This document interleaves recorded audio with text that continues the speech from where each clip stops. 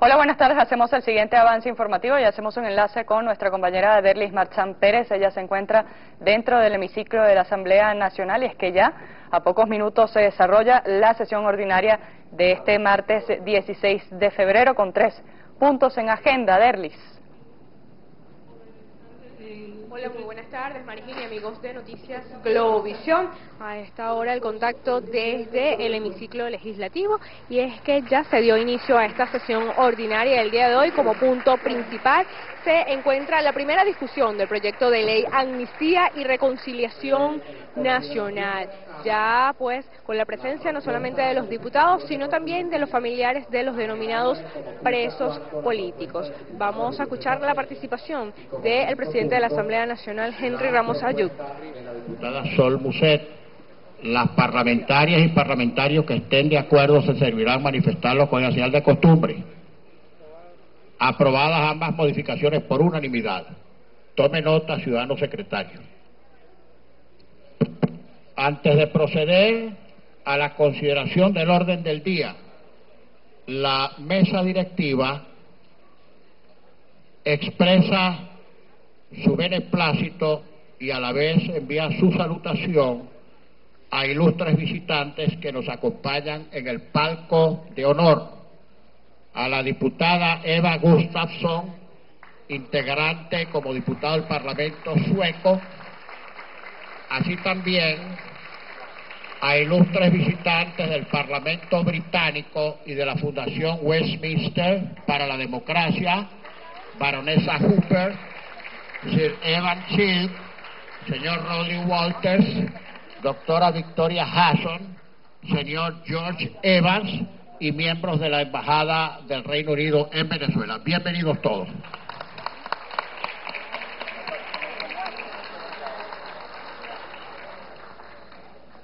Primer punto del orden del día, ciudadano secretario. Primer punto, primera discusión del proyecto de ley de amnistía y reconciliación nacional.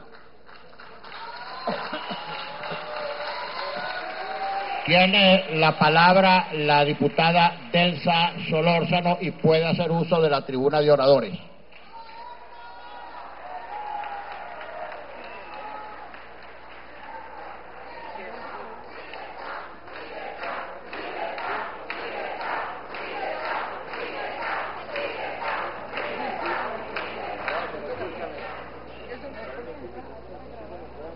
Gracias, señor presidente, colegas parlamentarios, familiares de presos, perseguidos y exiliados políticos que están acá hoy con nosotros. Para ustedes nuestro cariño, nuestro aprecio, nuestra solidaridad, porque sabemos lo que se siente, y nuestro compromiso de libertad, de democracia y de reconciliación. Corresponde hoy la primera discusión de una ley sumamente importante para nuestro país. Una ley que tiene como firme propósito ponerle fin a una larga era de prisión y de persecución por razones de pensamiento distinto. Una ley que no le hace honor a nuestra Constitución.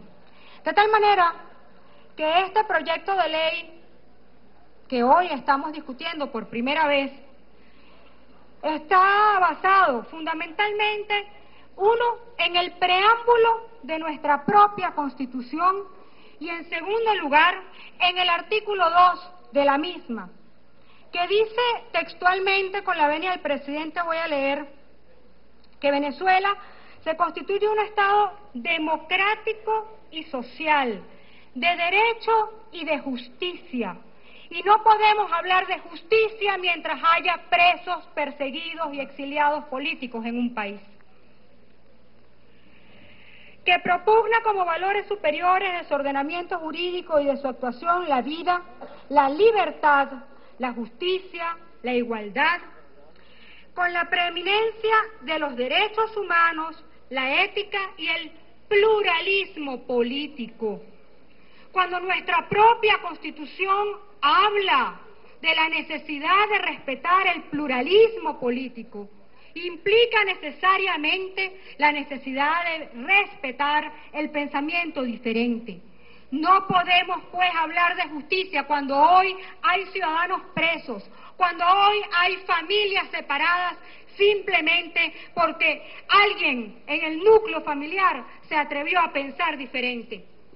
Son muchas las oportunidades en las que nuestra Venezuela ha pasado por momentos similares a estos.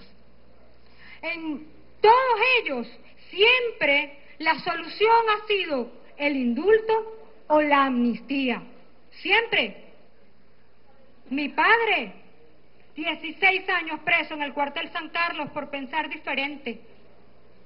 En otra época, sí, pero igualmente doloroso. 16 años, soy orgullosa hija de un guerrillero, caballero. De un guerrillero que estuvo 16 años preso por pensar distinto. Y puedo decir, por eso sé lo que se siente, que cuando hay un preso político en la familia, toda la familia está presa.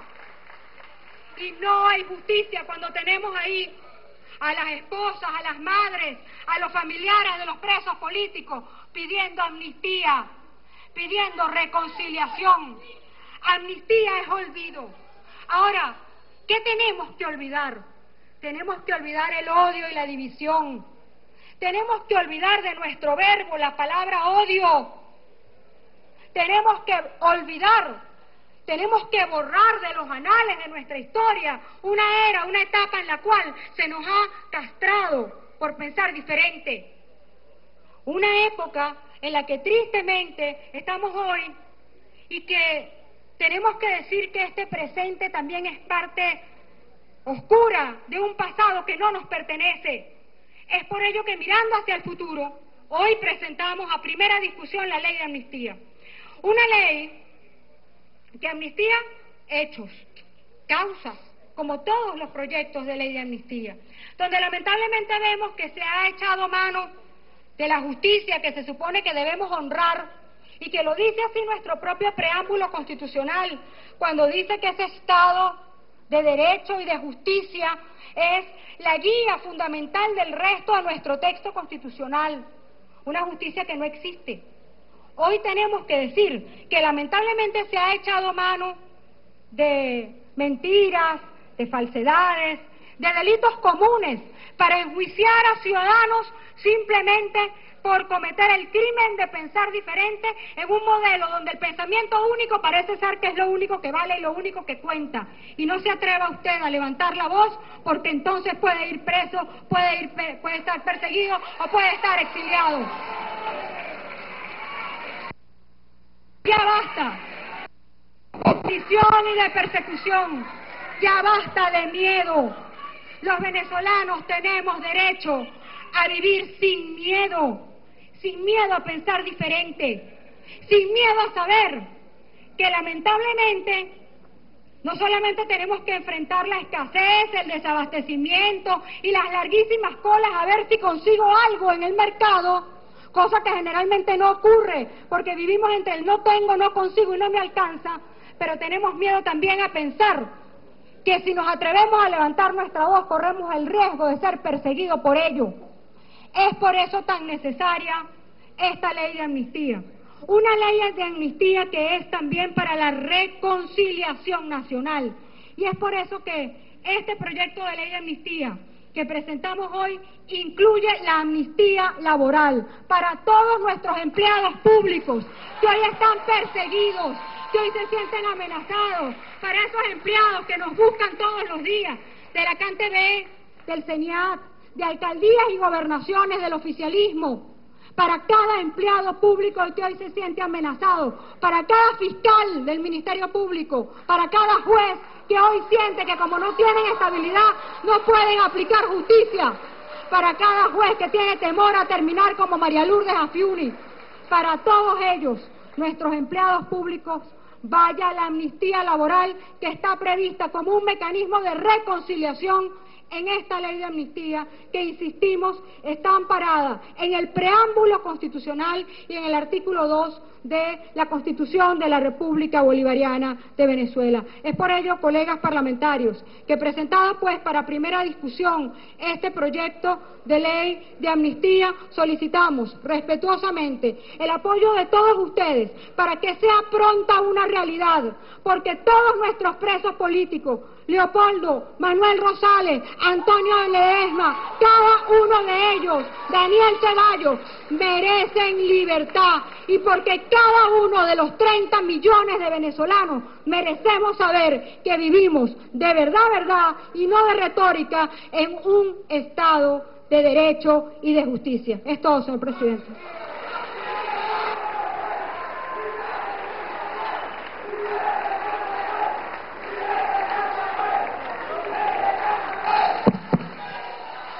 Muchas gracias, ciudadana diputada. Tiene la palabra el señor diputado Elías Jawa. la, la mesa directiva quiere hacer la siguiente observación a todo el público presente en las barras y conste que no queremos hacer una segunda advertencia al respecto. Las barras observarán absoluto respeto por las intervenciones de todos los oradores.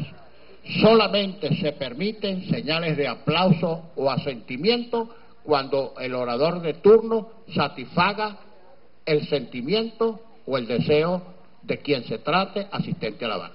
De resto, insistimos, absoluto respeto con las intervenciones de todos los oradores. Muchas gracias. Puede utilizar el diputado Elías Agua la tribuna de oradores.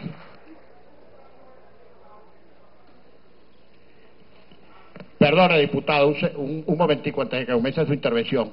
Eh, la presidencia no advirtió lo que a continuación señalará, que las intervenciones de los oradores serán hasta por diez minutos. Gracias, presidente. Compatriotas diputados y diputadas, pueblo de Venezuela y especialmente sobrevivientes y familiares de la violencia promovida y ejecutada durante 17 años por los dirigentes de los partidos contrarrevolucionarios que aquí hoy pretenden autoperdonarse con esta ley de amnesia criminal. Nuestra patria tiene una profunda fractura social que viene de lejos. La exclusión económica, social y racial a lo largo de nuestra historia de las grandes mayorías populares y su criminalización por parte de la oligarquía está en la causa de esta fractura. Esas mayorías populares, integradas por afrodescendientes e indígenas masacrados, campesinos y campesinas sin tierra, pescadores y pescadoras, trabajadores y trabajadoras explotados, desempleados y desempleadas, estudiantes perseguidos y bachilleres sin cupo, mujeres invisibilizadas, jóvenes del barrio criminalizados, comunistas, socialistas y militares patriotas, fuimos conformando a lo largo de la historia este bloque histórico que hoy denominamos con orgullo el chavismo. Este bloque histórico recoge centurias de dolores, de resistencia, de lucha y más recientemente de víctimas. Traición tras traición, masacre tras masacre contra nosotros. La última de ellas, en febrero de 1989, fueron forjando el camino de la victoria que encontramos bajo el liderazgo de nuestro comandante Hugo Chávez. Tras las rebeliones de los militares bolivarianos, que en 1992 se negaron a seguir disparando primero y averiguando después, el comandante Chávez nos convenció en 1996 de buscar un camino pacífico y democrático para resolver el conflicto histórico en Venezuela. Y con las reglas del juego de la democracia burguesa logramos en 1998 la toma pacífica del poder político en Venezuela, para hacer una revolución democrática que permitiera la inclusión, la visibilización y el reconocimiento de las grandes mayorías históricamente marginadas. Pero a partir de 1999, las élites excluyentes, aquí representadas por los partidos de la llamada MUT, decidieron romper todas las reglas del juego, como lo confiesan en la ley que hoy van a aprobar. En esta ley, en su artículo 4, confiesan que durante 17 años, con finalidad política, de derrocar a los gobiernos de los presidentes Chávez y Maduro, se han desobedecido las leyes, se ha instigado a delinquir, se ha ocasionado lesiones y muertes a personas, se ha causado pánico en la colectividad, se han obstaculizado vías públicas para ocasionar siniestros, se han dañado los sistemas de transporte, de telecomunicaciones y de los servicios eléctricos, se ha ocasionado daños a la propiedad pública y privada, se han asociado para delinquir, se han preparado, importado y accionado artefactos explosivos, se han usado a menores en la comisión de delitos y se ha traicionado a la patria, entre otros gravísimos delitos penales confesados en esta ley certificada por ustedes. Además, de manera vergonzosa, esta ley pretende ser una lavadora de todos los hechos de corrupción público y privado cometidos durante estos 17 años. El chavismo, como fuerza popular, está integrado por hombres y mujeres y jóvenes que en su inmensa mayoría profesamos la fe cristiana y que en su totalidad compartimos los valores cristianos, que son los mismos valores humanistas del socialismo. En consecuencia tenemos como valor el perdón, complementado con los valores de la verdad, la justicia, el arrepentimiento y la rectificación. Dice la Biblia que el que perdona la ofensa cultiva el amor, pero el que insiste en la ofensa divide a los amigos. Las facciones contrarrevolucionarias aquí representadas ofenden nuevamente a los sobrevivientes, a los huérfanos y huérfanas, a las viudas y viudos, a las madres y a los padres, sin asomar una sola palabra de solicitud de perdón o un mínimo gesto de arrepentimiento y pretendiendo que se eche al olvido las acciones criminales y sus responsables. Pero la ofensa es mayor si se toma en cuenta que muchos de los responsables de la promoción y ejecución de las acciones violentas y sus consecuencias ya fueron amnistiados por el comandante Hugo Chávez el 31 de diciembre del año 2007. Son recurrentes en el desconocimiento y en la violencia, en menos de 10 años, y pretenden que volvamos a olvidar. Pero quiero centrarme en la gravedad de que de que los que promovieron y ejecutaron degollamientos, ajusticiamientos, quemaduras, voladuras con bombas contra ciudadanos y ciudadanas de manera indiscriminada y daños al patrimonio público confesados impúdicamente en el artículo 4 de esta ley en discusión, pretenden imponerle a la sociedad y a las víctimas el olvido. Se quiere usar como argumento la ley de amnistía del año 2000. Esa ley no fue para autoperdonarnos, porque ya todos los militares y civiles que participaron en las rebeliones militares y populares de 1992 habían sido sobreseídos en sus causas. Esa ley se aprobó a solicitud de la agrupación de combatientes de los años 60, que 30 años después de la llamada pacificación seguían siendo víctimas de persecución política y exclusión social, ya que ni siquiera derecho a la identidad tenían. Recuerdo aquí el caso del elegido Cibada, Magoya. Ustedes no, olviden, diputado Ramos. El hecho vergonzoso del autoperdón que ustedes traen aquí solo tiene como tristes precedentes los autoperdones cometidos por los genocidas Pinochet en 1978, Videla en 1983 y Fujimori en 1995. Por cierto, todos estos actos fueron posteriormente desacatados, desconocidos o derogados por tribunales nacionales, internacionales o por los parlamentos de esos países. Las amnistías indultos, sobreseimientos, para que sean un instrumento de reconciliación nacional, tienen que ser el resultado de un proceso donde se privilegia a las víctimas, o de un acuerdo de paz nacional, tal como ocurrió en El Salvador, Suráfrica y está ocurriendo en este momento en la hermana República de Colombia. Hay que subrayar que ustedes se han negado insistentemente a escuchar la verdad de los familiares de las víctimas mortales y de los sobrevivientes. Es más, los desconocen. Aquí escuchamos la expresión del presidente de la Asamblea de hablar de un tal degollado. Y hoy pretenden negarle el derecho a que se investigue, se juzgue y se sancione a los responsables de su dolor. Esta acción legislativa no va a unir a Venezuela.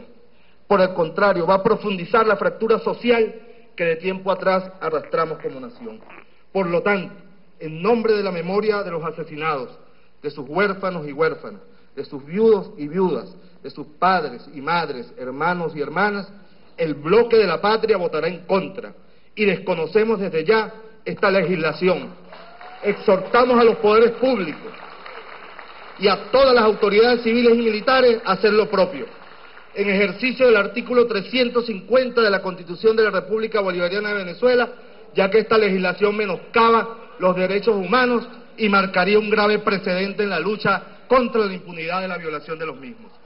Si queremos reconocernos como venezolanos y venezolanas, se debe empezar por, uno, pedir perdón a todas las víctimas como lo hizo el comandante Hugo Chávez el 4 de febrero de 1999 en los próceres. Y cito, todos los muchachos del 4 de febrero y del 27 de noviembre hemos venido aquí y recojo el sentimiento de todos y lo primero que me sale del alma en este sitio, así como fue lo primero que me salió del alma en la Academia Militar de Venezuela, lo primero que me sale de lo más profundo del alma, hermanos, es pedir perdón. Sí, perdón todos, perdón por los dolores, perdón por lo que quedó atrás, perdón por las ausencias, por los hijos, por el alma. Pero ustedes saben en el fondo del fondo que alguien tenía que hacerlo y nos tocó a nosotros. Pero sin embargo, pido perdón, Hugo Chávez. Dos, renunciar, renunciar de manera inmediata a la promoción y ejecución de la violencia como lo hicimos nosotros en 1997 y optar sin ambigüedades por el camino pacífico y democrático. Tres, renunciar al tutelaje del gobierno de los Estados Unidos el reino de España y de la oligarquía bogotana. Cuatro, cesar todos los mecanismos de chantaje y guerra económica contra el pueblo como forma de hacer política.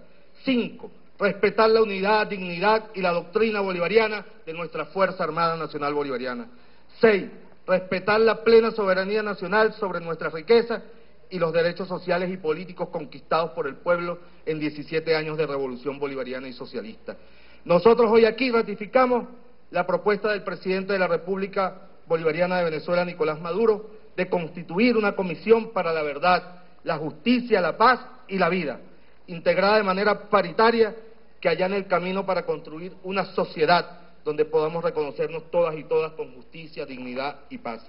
Nosotros siempre seguiremos buscando un alto de justicia, un alto de dignidad, como nos lo señaló Bolívar por el camino de la revolución y no por otro.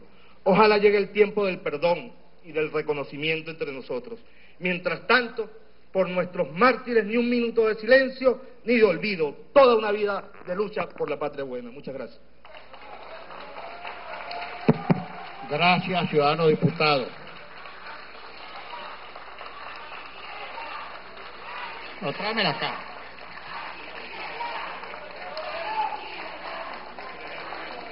Tiene la palabra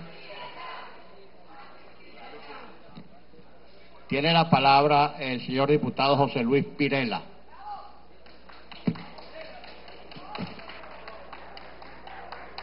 Y puede hacer uso de la tribuna de oradores.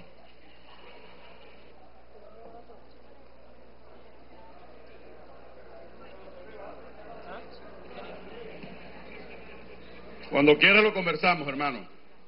Señor presidente, colegas diputados, es necesario que este histórico debate se dé en un marco de sinceridad, de dejar a un lado posturas radicales en el plano ideológico, porque bien lamentable es que aquí se venga a decir que se tiene fe cristiana como acaba de decir el diputado Jagua, pero incapacidad para perdonar. Cristo Redentor de la humanidad enarboló el perdón como fuente fundamental de su fe. Y el compañero nos habla de la fe cristiana de la bancada, pero es incapaz de perdonar y de abandonar un instante el pirata formato del gobierno, del golpismo, del imperialismo y de la Cuarta República. De verdad se pretende esconder el fondo del tema. Y es que para perdonar hay que elevarse de verdad y dejar a un lado la hipocresía, porque la capacidad para perdonar no puede estar hermanada de la falsedad de la hipocresía y la mentira.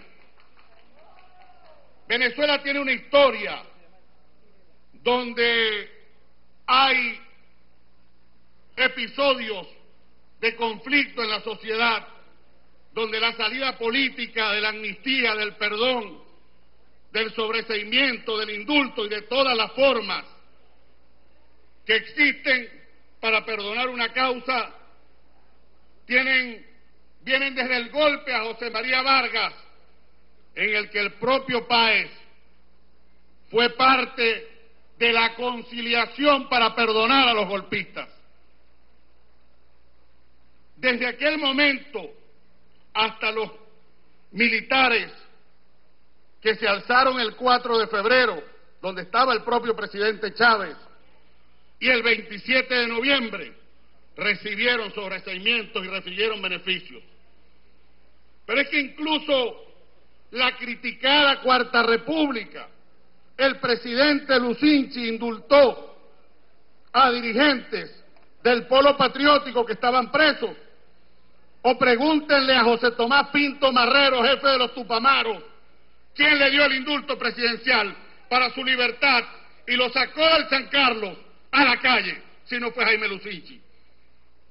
Entonces no vengamos aquí a rasgarnos las vestiduras con el imperialismo y tal. El acuerdo de Colombia está haciéndose por una necesidad de aligerar una salida política en el seno de ese país por encima de las diferencias ideológicas. Pero aquí los compañeros de la bancada del gobierno son incapaces de colocar eso a un lado, incapaces de colocarlo. Y hablando de impunidad, ¿y quién tiene el control de los tribunales secuestrados, de ese poder judicial vergonzante al servicio de una parcialidad política? Antonio Ledesma lleva 11 audiencias y Rosales lleva cuatro. ¿Cuántas tienen que resistir para que puedan ser colocados y enjuiciados? ¿O no tienen derecho a defenderse tampoco? También está cercenado el derecho a la defensa para quienes piensan distinto al gobierno. Hablar de corrupción, Elías, debía darte vergüenza. Mucha vergüenza debería darte a ti pararte aquí a hablar de corrupción. Cuando ustedes endeudaron a este país, multiplicaron la deuda en este país y el país hoy no tiene divisas porque las maletas de las empresas fantasmas, consorciadas con algunos de ustedes, porque yo no generalizo y también reconozco gente honesta en todas partes, se prestaron para saquear a Cadivi y no hay ni siquiera un chino preso, porque en Recadi hubo un chinito preso. Aquí no hay nadie, compañero. Aquí hay impunidad total para quienes se robaron los millones y millones de dólares que saquearon las arcas de este país. Zamuros cuidando carne y hablando de corrupción. ¿Dónde está Arne Chacón? Ese banquero express que de ser un catcher de la República del Este pasó a ser un potentado banquero rojo. Bueno, si empiezas a hacer la lista de Andrade y demás, tendrías que decir que aquí está el esbirro que protagonizó la masacre de Cantaura con una foto de una víctima. ¿Cuántos muertos tienes en la conciencia, Cordero Lara? ¿Cuántos tienes? Si te estoy aludiendo directamente para ver si puedes explicar eso aquí. Desconocemos esta ley. Acaba de anunciar Elias Agua que el problema aquí no es si tiene consenso o no la propuesta de la Comisión de la Verdad que planteó el presidente Maduro, o si se va a desconocer la facultad de esta Asamblea constitucionalmente establecida, porque es que la Constitución es buena cuando te conviene y cuando no te conviene la echas a un lado. ¿Dónde quedó la prédica y el legado del presidente Chávez de que dentro de la Constitución todo y fuera de ella nada? Hoy vienes a desconocer y a pisotear en esta honorable tribuna la Constitución aludiendo un 350 rebuscado, cuya única justificación la tiene el hambre, la escasez y el pillaje y los robos que ustedes han practicado en la nación.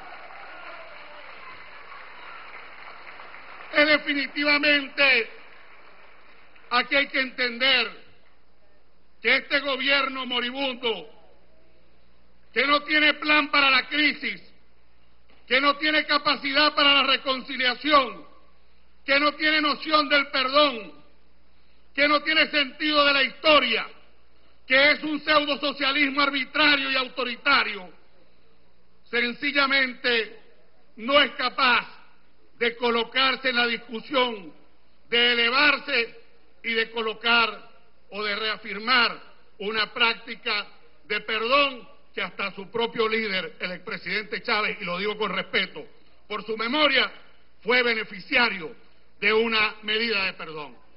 Entonces, ¿qué es lo que hace falta aquí? Bueno, sencillamente, mis queridos compañeros, mi querido pueblo de Venezuela, que aquí no hay voluntad política sino para la confrontación. Este es un gobierno que vive mirando el retrovisor, que promueve la confrontación y que pretende, teniendo las armas del Estado, teniendo el control de todos los poderes, presentarse como una víctima de la conspiración imperial de la ultraderecha, de la bancada de la ultraderecha. Ustedes van a tener que releerse el socialismo y les recomiendo que lean a Gramsci. La construcción de la nueva hegemonía pasa por el consenso, pero ustedes como que casi ninguno se ha leído últimamente a Gramsci. Van a tener que reactualizarse en los temas del socialismo moderno y entender que hay que sentarse a buscar una salida por el país y que el clima de tensión por el hambre, por la necesidad, por la falta de medicinas, por la escasez de comida, por la miseria, por los apagones, por la falta de agua, por las enfermedades que está padeciendo Venezuela, también necesita salidas y señales de reconciliación. Todo eso está negado. Todo eso está negado para la bancada oficial, porque la descalificación, porque la postura radicaloide, porque la incapacidad para el entendimiento, porque la incapacidad para revisar que hasta sus liderazgos han sido perdonados y amnistiados de diferentes maneras, pues eso ellos lo merecían, pero quienes hoy están presos no lo merecen. ¿Qué hacer con los estudiantes que están presos, acusados por drogas, cuando ellos saben que fueron unos funcionarios delincuentes que le sembraron droga a los estudiantes para ponerlos presos? Es que no se puede, no se puede entender que los estudiantes son rebeldes, que cometen a veces excesos como los cometieron muchos de ustedes y autocríticamente reconozco, muchos cometí yo como dirigente estudiantil en la Cuarta República. Entonces, ¿de qué estamos hablando? Digan que ustedes no van a reconocer la ley, que no van a reconocer nada, que ustedes quieren convertir esta asamblea en un instrumento frente a la gente al que ustedes no respetan, porque la asamblea solo era válida, sus facultades constitucionales, hasta el 4 de enero en la asamblea de Diosdado. Pero en la asamblea de hoy, de la Venezuela que exigió cambio, de la Venezuela que votó por un cambio, no es a nosotros a quienes nos atropellan, a los diputados de la MUD, es a los 7 millones de venezolanos que en la calle gritan cambio, que reclaman cambio, que votaron por el cambio, que derrotaron el ventajismo oficial, que derrotaron las campañas millonarias de ustedes. Y ustedes siguen sordos frente a la sociedad y frente a la historia. Vayan a negar lo que aquí aprobemos, vayan a enarbolar su anarquía del 350, vayan a darle rienda suelta al odio y al desprecio por la legalidad, vayan a darle rienda suelta al desprecio por la nueva mayoría del país y seguramente la historia los condenará y vendrán los arrepentimientos. En algún momento de la historia, más adelante, algunos de ustedes estarán presos y estarán aquí reclamando que se equivocaron. Tarde piaste, pajarito. Aquí de lo que se trata, yo no estoy amenazando a nadie, pero algunos hay que investigarlos. Algunos van a ser investigados, les guste o no les guste, y el país y el mundo sabrá quiénes fueron los que saquearon este país ¿Dónde están? ¿Dónde están los dólares de Cadivi? ¿Dónde está el dinero de los programas sociales? ¿Dónde están las medicinas? ¿Dónde están el rendimiento de PDVSA? ¿Por qué no evaluamos eso aquí? ¿Por qué no revisamos eso aquí también? Para desconocerlo también, la investigación. No es que pareciera que definitivamente hay una suerte de sordera colectiva en el oficialismo porque el odio no permite que se pueda razonar como seres humanos elevados en la búsqueda de salida. Muchas gracias, señor presidente, colegas diputados. Muchas gracias, señor diputado.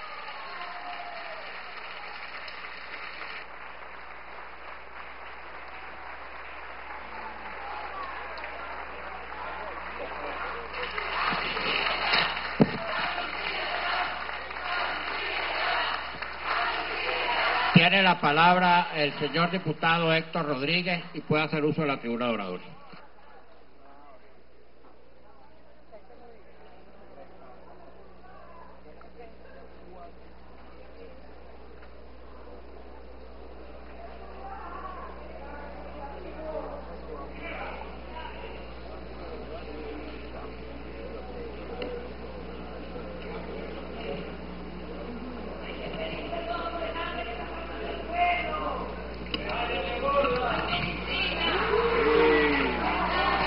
Buenas tardes, colegas diputados y diputadas.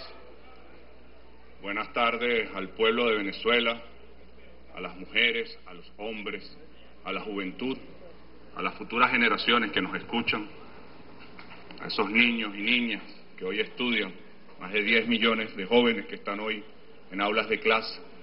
Y buenas tardes al mundo también, porque creo que esto es un debate un debate que obligará, nos obligará a todos y a todas a dar un debate nacional e internacional.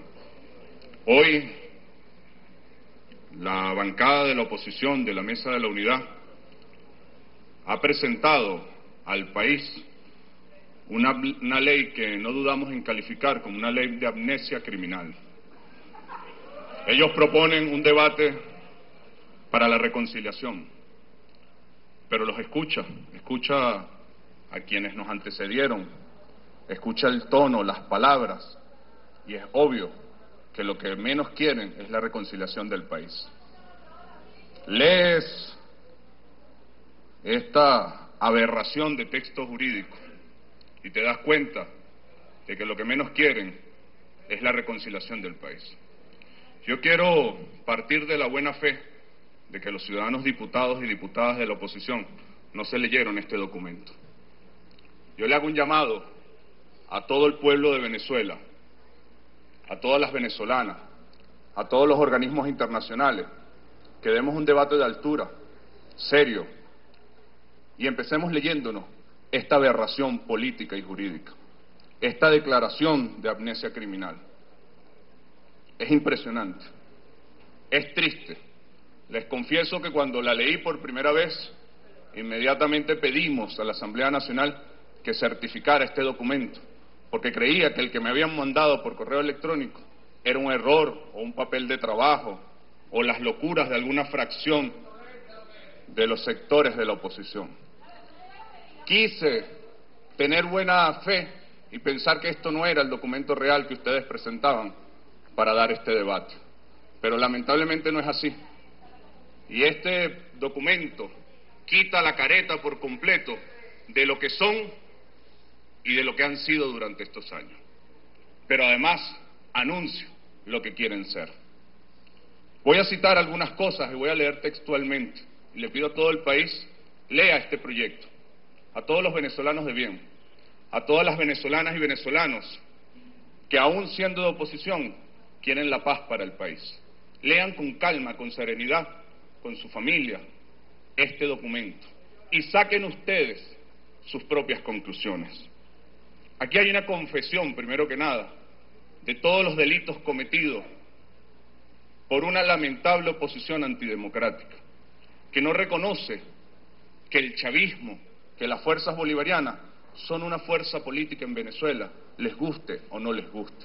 Son una corriente histórica y vamos a seguir existiendo. Más allá de los tonos malentonados de algunos, más allá de las bravocunadas, más allá de las altanerías, el chavismo es una fuerza histórica y va a seguir existiendo. Y además una fuerza histórica que es del tamaño de las dificultades. Es una fuerza histórica que es el tamaño de los retos que se le presentan. No hay, no se equivoquen, no hay en el chavismo cobardía, hay valentía y voluntad. Voluntad de poder, voluntad de futuro, voluntad de construcción. No malinterpreten las circunstancias históricas. Menos si de verdad quieren este país y quieren paz para este país. El artículo 2 de esta ley de amnesia criminal plantea, aunque ustedes no lo crean, le pido que lo lean, que el tiempo de la ley es del primero de enero de 1999 hasta que la ley entre en vigencia. Es decir, es claramente un llamado a cometer todos los delitos que a continuación desarrolla la ley. Porque es una ley para el futuro. Es una ley que le dice a los criminales de este país, los delitos que cometas, que estén en esta ley, desde este momento hacia el futuro, también van a ser olvidados. Léanlo, les leo textualmente. Desde el primero de enero de 1999 hasta la entrada en vigencia de esta ley, artículo 2. Estoy leyendo el texto textualmente y llamo al debate. Es una confesión indiscutiblemente. Además, narra un conjunto de artículos que impresionan. Según esta ley, el terrorismo no es delito o no va a ser delito. Si no me creen, lean el artículo 15 de la ley que plantea textualmente se concede amnistía a los hechos considerados como terrorismo. Artículo 15 de la propuesta de ley de amnesia criminal presentada por la oposición venezolana. El artículo 17 y 18 plantea la ley, artículo 17, además de los hechos punibles previstos en el capítulo anterior, se concede amnistía a los hechos punibles previstos en el Código Penal y en el decreto con rango, valor, fuerza de ley de reforma de la ley contra la corrupción.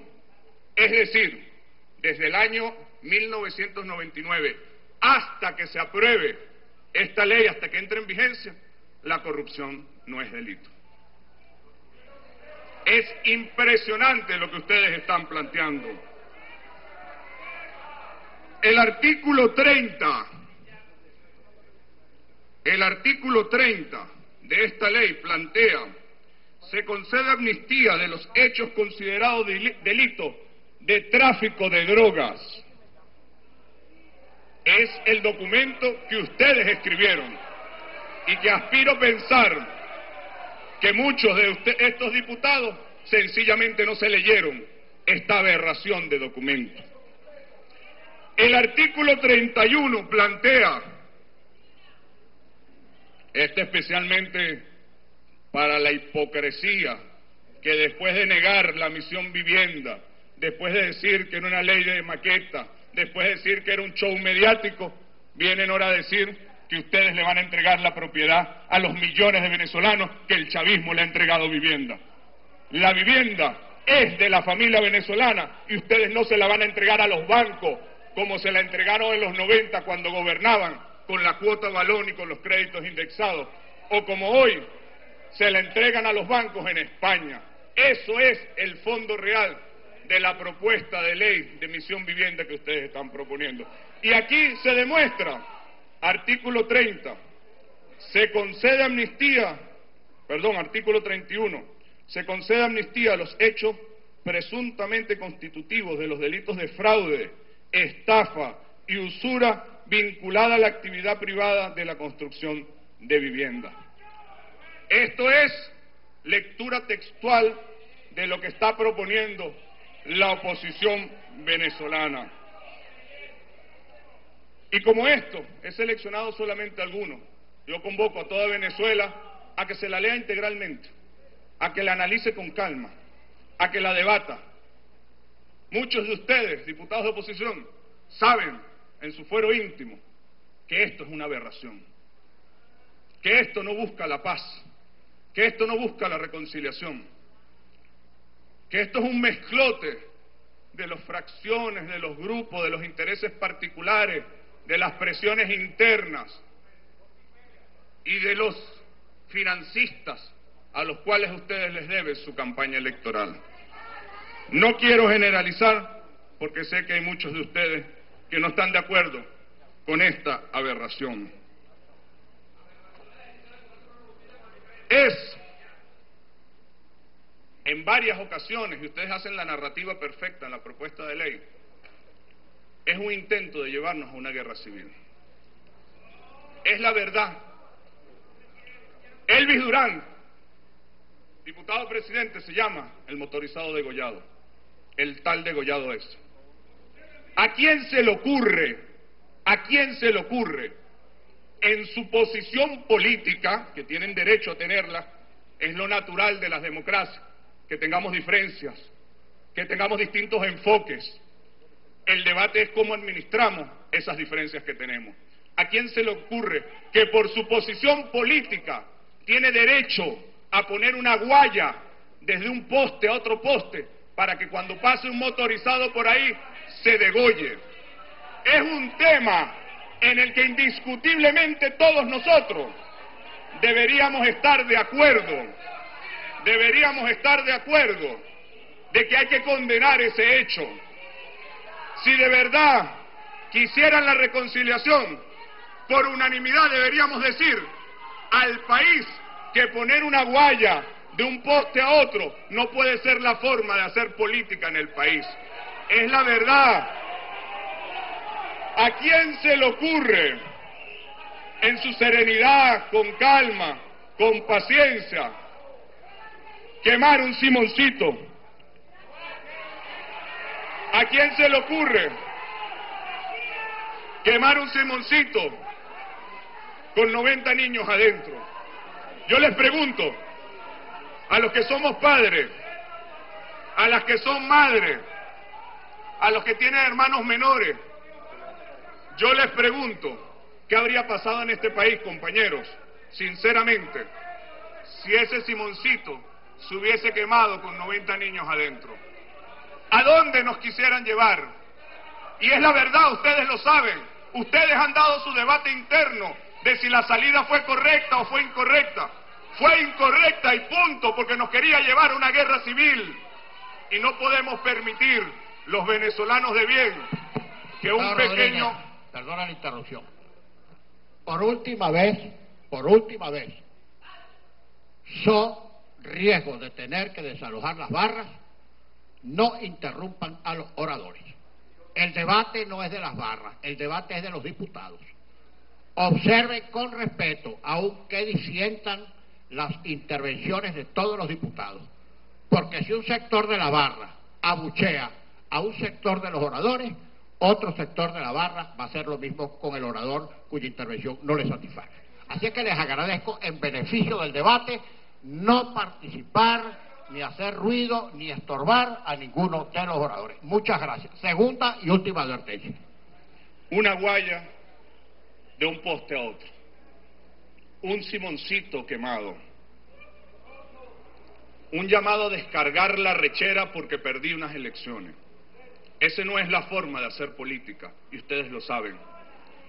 No es la forma de hacer política. Esa forma de hacer política, queridos compañeros, solamente nos puede llevar a una guerra civil. Si de verdad quieren la paz, si de verdad quieren la reconciliación, esta ley de amnesia criminal es una aberración y ustedes lo saben. Ojalá tengan la voluntad, ojalá tengan la capacidad política de salirse de sus propias presiones y tener un debate de altura y de responsabilidad ante el país. Si no lo tienen, nosotros haremos el trabajo en el país y en el mundo para terminar de demostrarle al país este, esta propuesta de amnesia criminal.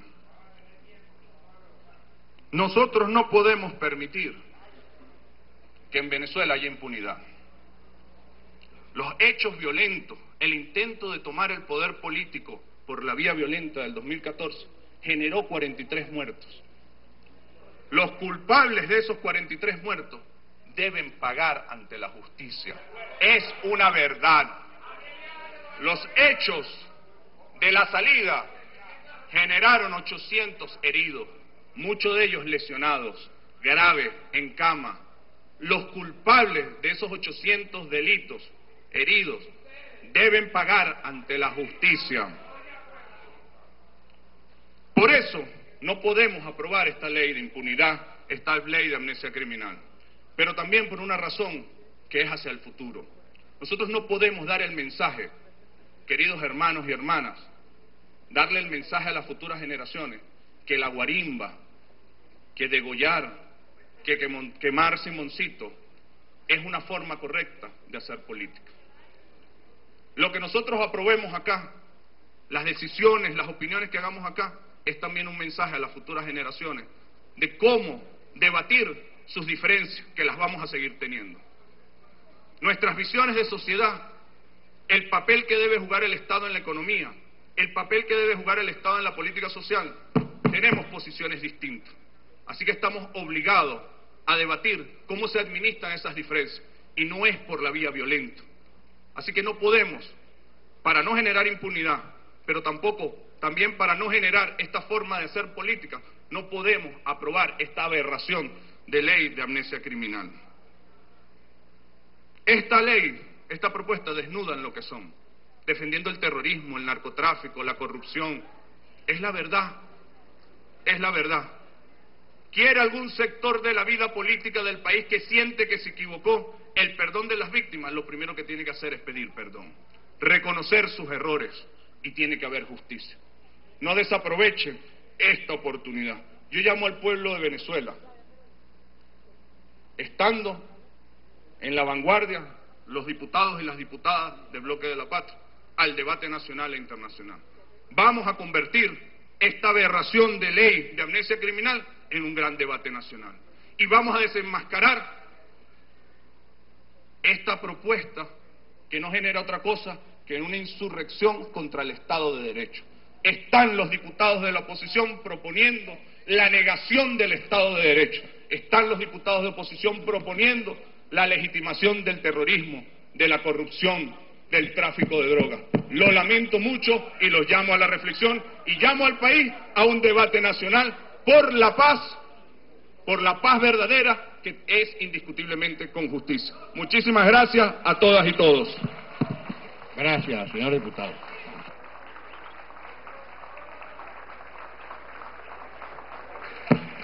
Tiene la palabra la diputada Yajaira Forero.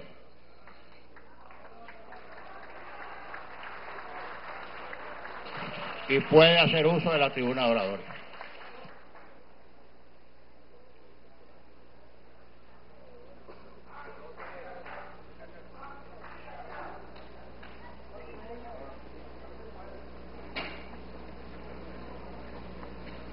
Muy buenas tardes. Bienvenidos a todos acá a la Asamblea Nacional.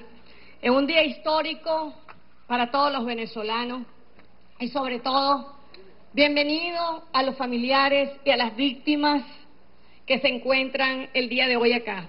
A los familiares de los presos políticos que desde sus celdas, Dios quiera, que tengan la oportunidad de ver, escuchar este debate sobre una ley donde lo que estamos buscando es la reconciliación nacional y la libertad de todos los presos políticos y el regreso de todas aquellas personas que han tenido que irse de Venezuela por la persecución penal que ha ejercido este gobierno en contra de venezolanos simplemente por pensar distinto.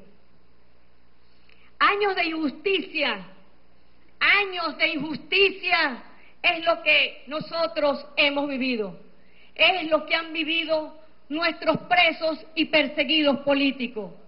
Años de injusticia porque este gobierno mantiene al poder judicial secuestrado y lo utiliza para llevar a la cárcel a personas inocentes, a personas simplemente por pensar distinto. Años de injusticia es lo que nosotros hemos vivido, lamentablemente, porque algunos jueces, sin ningún tipo de pudor, han encarcelado a personas.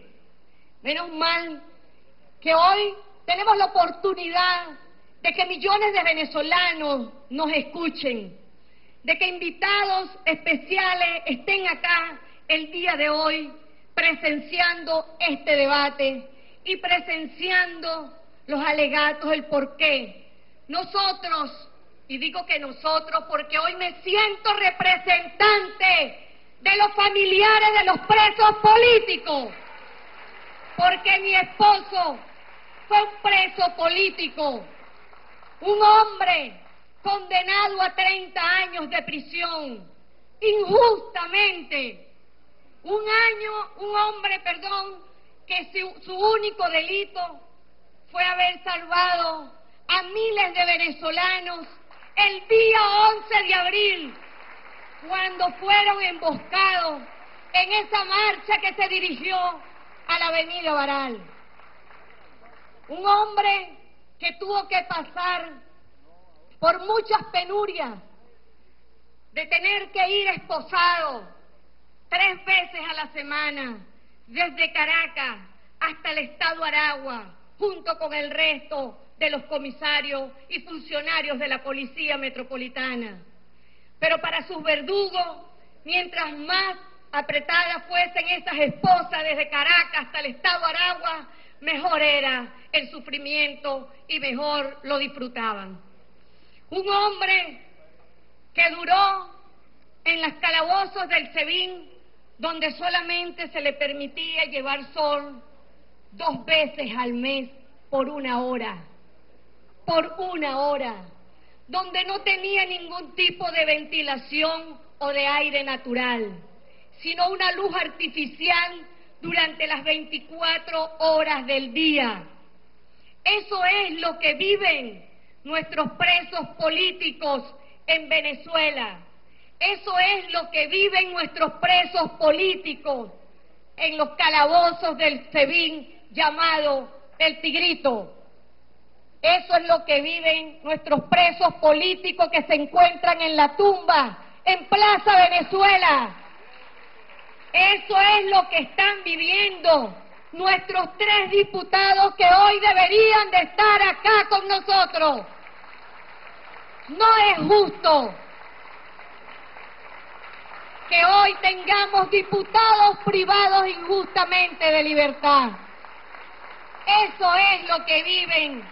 Es la injusticia tan grande que viven nuestros estudiantes, nuestros estudiantes, que el único pecado de estos muchachos ha sido simplemente al, ver alzado su voz haber alzado su voz contra la crisis política y económica que hoy estamos viviendo y que se ha agudizado y que mantiene, nos mantiene haciendo cola, pasando trabajo para conseguir comida y para conseguir medicina. Ese ha sido el único pecado de nuestros estudiantes.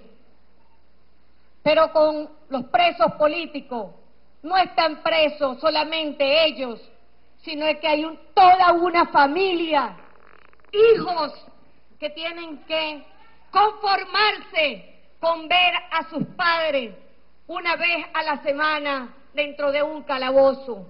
Mujeres, madres, hermanas, esposas, que tenemos que pasar por humillaciones vergonzosas, humillaciones cada vez que tenemos que ir a ver a nuestros hijos. Y a mí no me lo contaron, yo lo viví, yo lo viví cada vez que tenía que ir al SEBIN a visitar a mi esposo.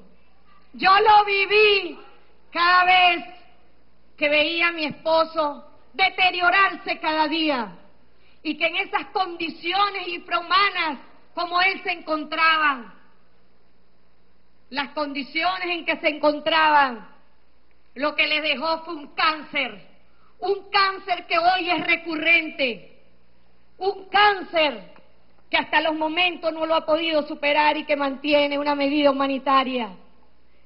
Es doloroso tú saber que un familiar tuyo es inocente, como lo son nuestros estudiantes, como lo son los diputados, y que tengan que salir de una cárcel después de estar ocho años y condenados a treinta años de prisión con una grave enfermedad, como la que han salido varios presos políticos y como fue el caso de mi esposo. Pero hoy estamos hablando de algo muy importante, como es el perdón y la reconciliación nacional. Porque es lo que nosotros hemos venido a discutir el día de hoy acá.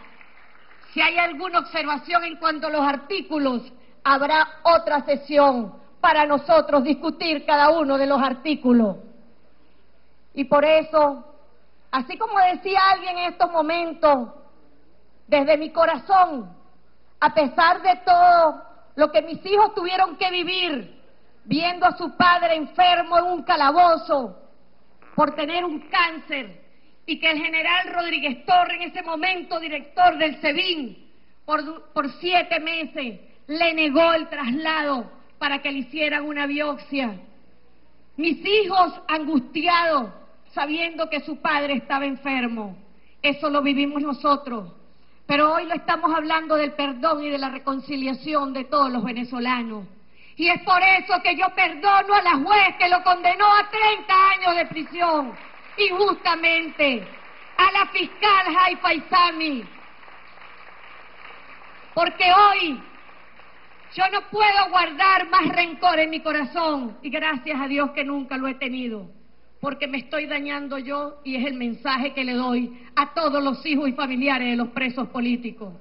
Pero lo hago por Venezuela, porque Venezuela lo que necesita en estos momentos es paz y reconciliación. Pero lo que yo he vivido, lo han vivido las madres de los estudiantes que han sido tratados como los peores delincuentes. Y yo le tengo que hacer un llamado a los fiscales y a los jueces. Ojalá fuesen tan diligentes con los delincuentes como el Buñuelo, un delincuente que tenía 27 asesinatos y estaba en libertad. 27 asesinatos y el delincuente, varios jueces benevolentes le habían dado medidas alternativas y cumplimiento de la pena. Ojalá fueran tan diligentes para agarrar a los delincuentes que tienen azotado a todos los venezolanos. Pero cuando se trata de una persona, de un opositor por pensar distinto, allí de inmediato a las 24 horas ya tiene orden de captura y un juez se presta sin ningún tipo de pudor para condenarlo a 30 años de prisión. Lo que yo viví es lo mismo que están viviendo los familiares de nuestros diputados.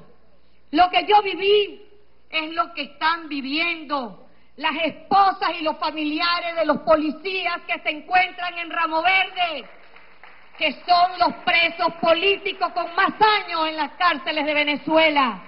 Hay que verle la cara a 13 años en un calabozo hay que verle la cara a toda una vida viendo a sus hijos crecer allí solamente por ratos cuando lo van a visitar. Lo que yo he vivido es lo mismo que ha vivido Lilian Tintori y sus hijos. Es lo mismo que ha vivido la mamá de Leopoldo López.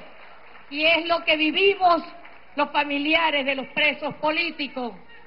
Y efectivamente, y lo decía en mi intervención anterior, que hay víctimas, pero es que víctimas hemos sido todos. Víctimas hemos sido todos aquellos a quienes les han asesinado a sus familiares, como el 11 de abril. Porque los verdaderos culpables no son los funcionarios de la Policía Metropolitana que llevan 13 años presos. Los verdaderos culpables están en libertad. Entonces ustedes son víctimas, pero también son víctimas o somos víctimas los familiares y los presos políticos que hemos tenido que vivir todas estas penurias, toda una situación que jamás en la vida la vamos a recuperar, pero que por eso no puede ser que nosotros sigamos en un círculo vicioso de odios y de enfrentamiento. Venezuela lo que pide hoy es paz y reconciliación, porque lo que estamos viviendo es muy duro y muy, muy difícil.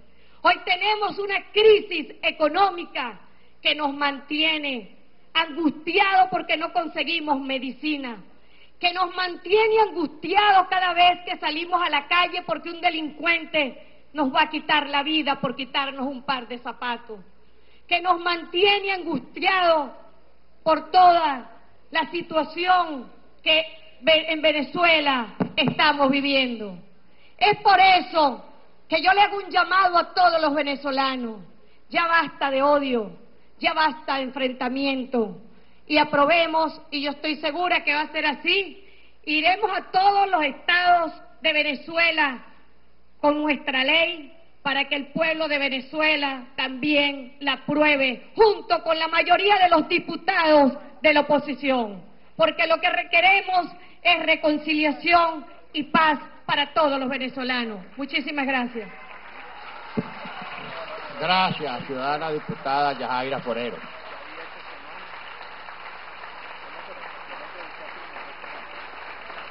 Tiene la palabra la señora diputada María León.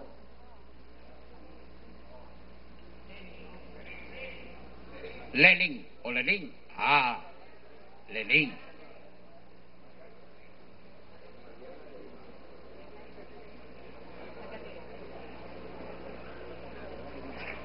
Y puede hacer uso de la tribuna de oradores.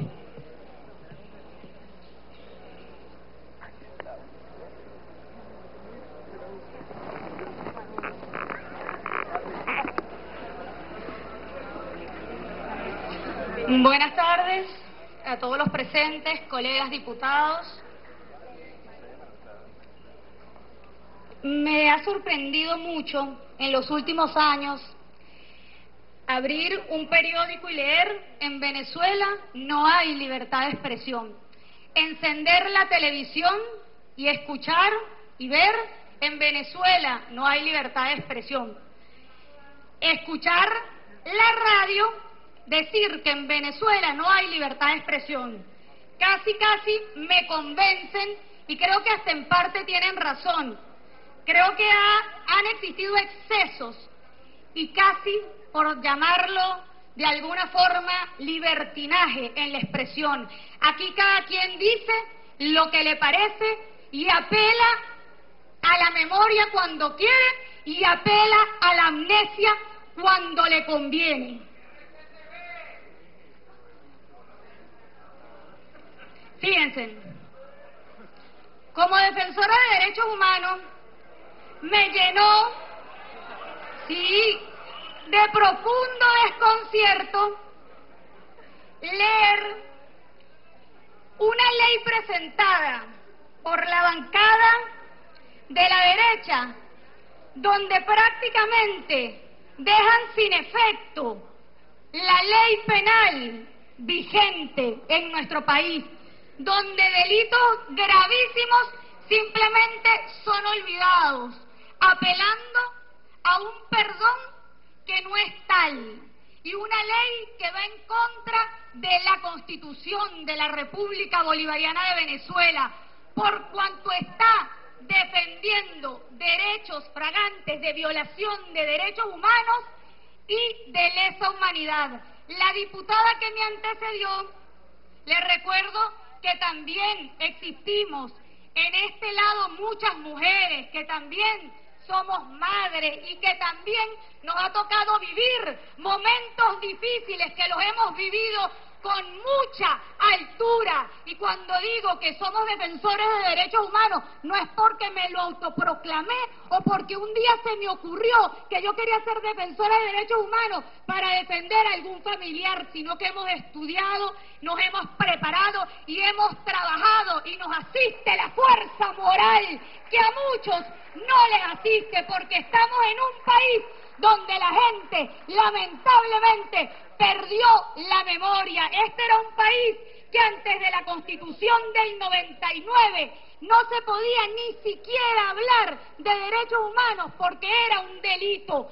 Y a las mujeres que he escuchado hablar aquí ni siquiera tenían ni voz ni voto en ningún espacio. Le recuerdo a la diputada por qué esa ley es anticonstitucional. El artículo 29 de nuestra Carta Magna dice, el Estado estará obligado a investigar y sancionar legalmente los delitos contra los derechos humanos cometidos por sus autoridades. Tengo entendido que su esposo era comisario de la Policía Metropolitana, por lo tanto estamos hablando de violación de derechos humanos y de crímenes de lesa humanidad. Las acciones para sancionar los delitos de lesa humanidad, violaciones graves de los derechos humanos y los crímenes de guerra son imprescriptibles y no hay amnistía cuando es una amnistía real que valga ante estos hechos. Claramente lo dice. Dichos delitos quedan excluidos de los beneficios que puedan conllevar su impunidad, incluidos el indulto y la amnistía, que también vale resaltar aquí, porque además de quedar en evidencia que no leyeron la ley que presentaron, también hay que explicarles que indulto y amnistía no es lo mismo. Y en los países, en el derecho comparado, cuando se ha hecho una solicitud de ley de amnistía, se ha hecho para buscar la paz, para evitar la conmoción social, no para tratar de llevarnos a una guerra civil. Por ese motivo, nosotros desde la bancada de la patria rechazamos contundentemente una ley que va a obligar a los venezolanos, a las víctimas de tantos y tantos hechos desde el año 99 hasta la presente fecha, olvidar, olvidar delitos que no tienen, no tienen derecho a la amnistía, porque simplemente ustedes están creando una normativa apelando, apelando al desconocimiento de mucha gente por intereses políticos.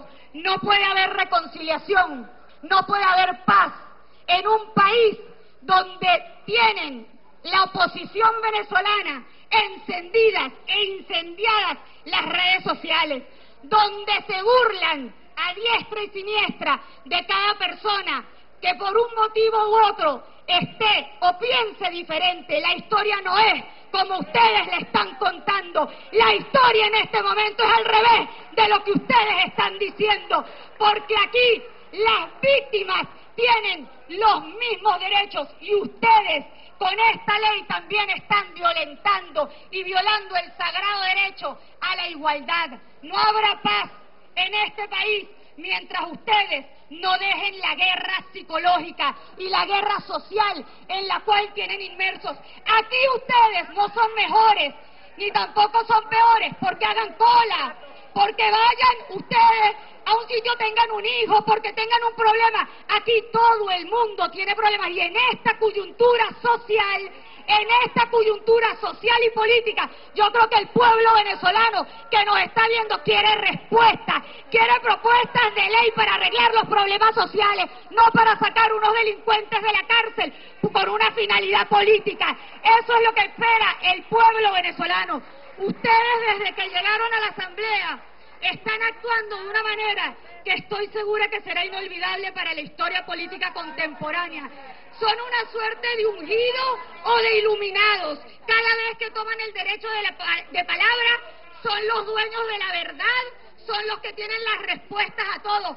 ¿Cómo va a haber paz si tenemos un presidente de la Asamblea Nacional que cree que está en un reality show? No puede haber paz en un país donde no hay respeto, en un país donde vale más miles y miles de mentiras, donde el que grita más es el que tiene la razón. No puede haber paz.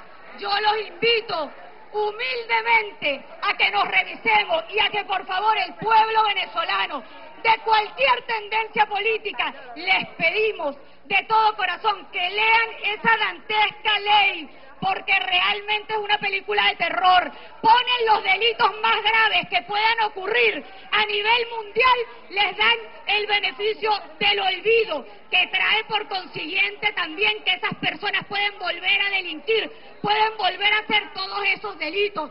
Va en contra del Estado de Derecho.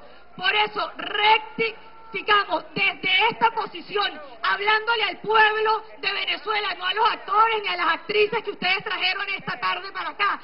Desde la bancada de la patria, ni la justicia ni los derechos humanos se negocian. Gracias. Muchas gracias, señora diputada María Lenín, Oleni.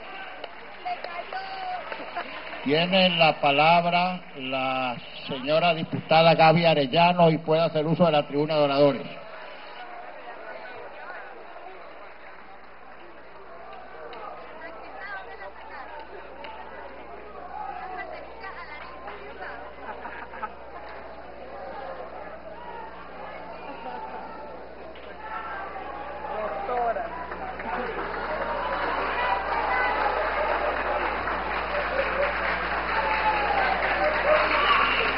Tardes. Buenas tardes a los familiares de las víctimas, a los familiares de los presos políticos y en especial quiero y espero saludar por última vez a través de los medios de comunicación a las decenas de jóvenes que están hoy en un calabozo injustamente. Porque espero que esta ley nos permita abrazarnos pronto en la calle como hermanos. Hoy hablo en nombre del pueblo digno del Estado Táchira. Pueblo digno que tiene hoy injustamente detenido, secuestrado por el régimen de Nicolás Maduro a Josman Paredes, a Gregory Zambrano, a Gerardo Carrero, a Juan Giraldo, a Loren Salé, a Daniel Ceballos, a Renzo Prieto y a Rosmi Mantilla, gochos con mucho honor y que enalzan el patrimonio y el gentilicio del pueblo del Táchira.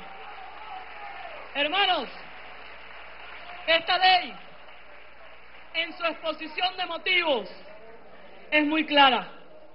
Es para reconciliar al país reconciliar al país. Unos que hasta antier creyeron en una supuesta revolución y lo único que consiguieron fue colas. Unos que engañaron con un proyecto y nunca les, les cumplieron lo prometido. El país quiere reconciliación, hermanos.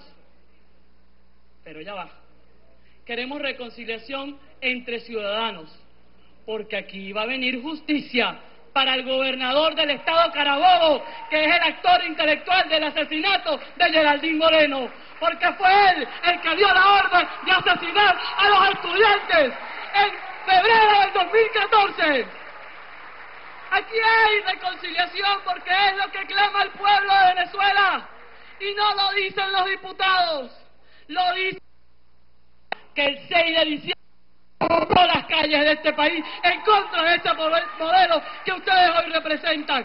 Ese modelo que hoy se llama crisis y que ustedes se alejan de ser el bloque de la patria, porque Venezuela, ellos son el bloque de la crisis, porque representan la cola, el hambre, la inseguridad y el miedo. Hoy les vengo a decir que sí, esta ley de amnistía, colegas diputados que me antecedieron y en especial el diputado que tiene dos posgrados en Derecho, sepa que la primera discusión es para la exposición de motivos y la segunda para el articulado.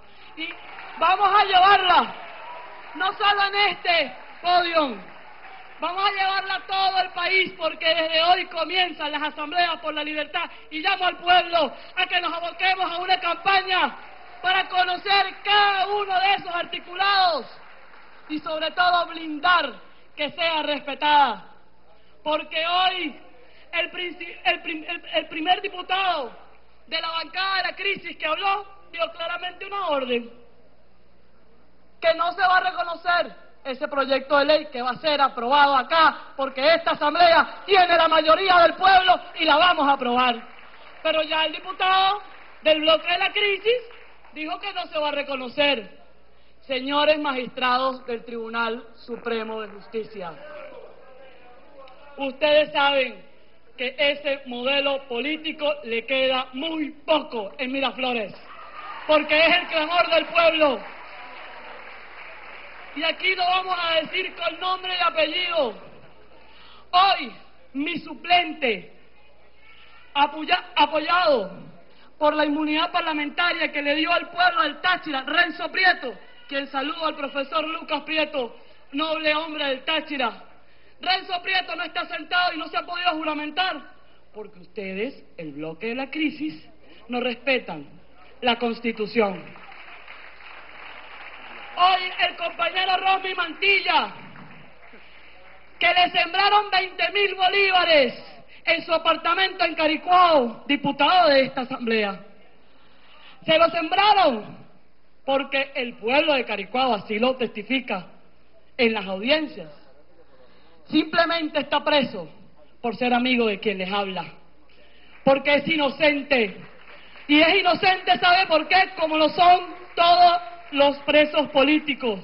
¿Sabe dónde se sustenta la inocencia de esos ciudadanos, hombres y mujeres que están en un calabozo? Por los fiscales del Ministerio Público y los expedientes. Porque una cosa es lo que pasa a BTV y ustedes repiten como loros. Y otra cosa es lo que queda estipulado en los expedientes.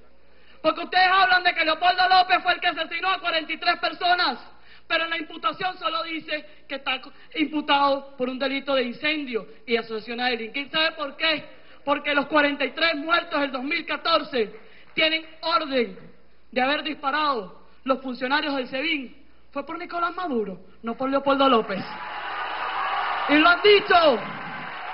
Y los invito, señores del bloque de la crisis, que revisen expediente tras expediente y le he pedido a los abogados de todos los presos políticos que para la segunda discusión nos permitan la copia de los expedientes en los casos que los permiten, porque aquí, aquí en este país no hay justicia, porque no hay magistrados en la sala constitucional éticos con, con, experiencia y apegados a la Constitución. Aquí no hay justicia porque aquí hay fiscales como Catherine Harrington, que nos acusó la mayoría, incluyéndome, y hoy es viceministra de ese gabinete. ¿Cuál justicia? Si fiscales y jueces son sicarios políticos de la decisión que emana de La Habana. ¿De cuál justicia hablan ustedes?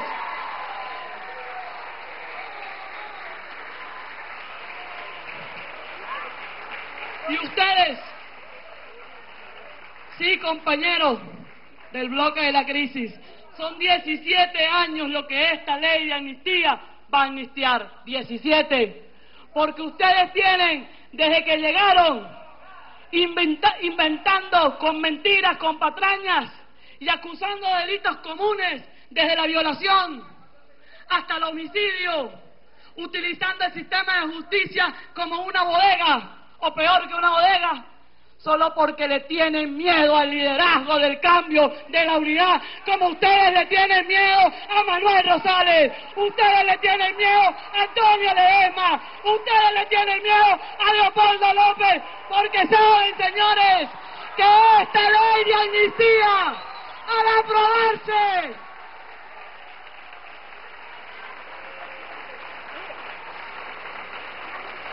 va a ser el primer paso para comenzar a reconciliar el país. Porque sabe, compañeros, ¿por qué le dimos una redoblona el 6 de diciembre? Porque el pueblo no quiere presos políticos. Porque el pueblo está contento la tarde de hoy por este debate, que no es que beneficie a unos y a otros no, señores. Esta ley de amnistía que es atípica, porque sí es atípica ante el mundo, porque estamos amnistiando mentiras, porque ninguno de esos delitos que se le está acusando a ese centenar de hombres y mujeres es verdad, y ustedes lo saben. Pero esta es la única herramienta que tenemos para demostrar que a esos compañeros como Gerardo Carrero, que los quieren inculpar de, de, porte de drogas y de porte de armas y hablar de narcotráfico, cuando en aquella bancada están sentados los principales carteles de la droga. Porque en esta bancada está una diputada.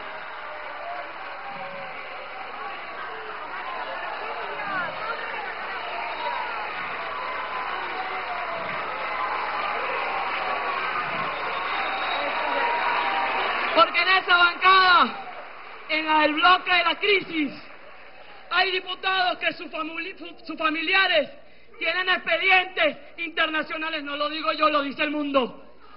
Eso es lo que hay que explicar.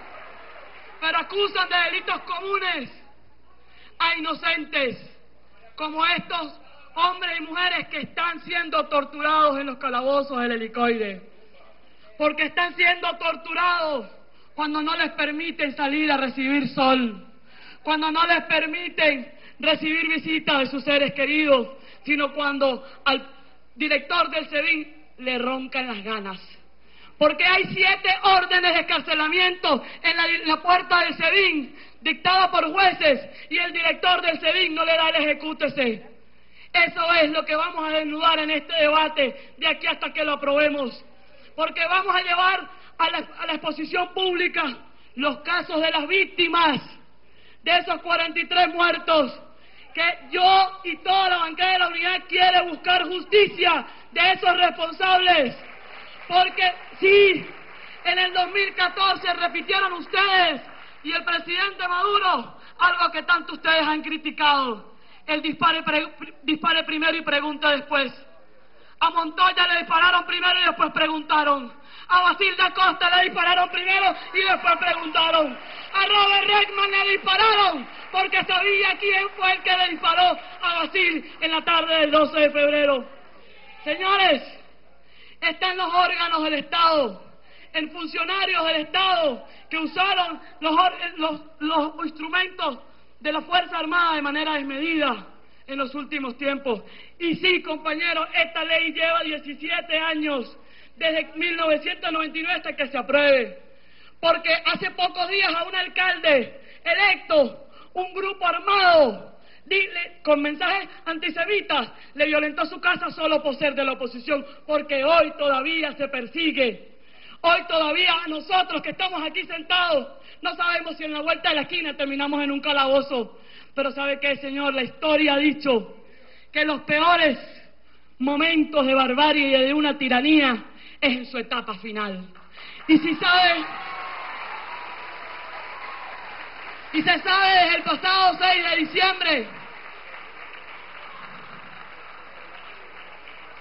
que lo que ustedes representan están en sus últimos días. Ese gobierno que hoy está en Miraflores va a salir de manera pacífica, constitucional, porque vamos a activar el mecanismo en el 2016 para dar libertad, dar justicia y dar reconciliación. Y hoy simplemente le digo a nuestro, a nuestro pueblo amado, a nuestro pueblo querido, así grande, rebelde e irreverente como el Táchira, aquí hay una bancada de la unidad monolítica, firme y clara, que antes de que acabe el 2016 vamos a respirar tranquilidad, paz, reconciliación y amor, porque la tiranía va a dejar de secuestrar los poderes del Estado.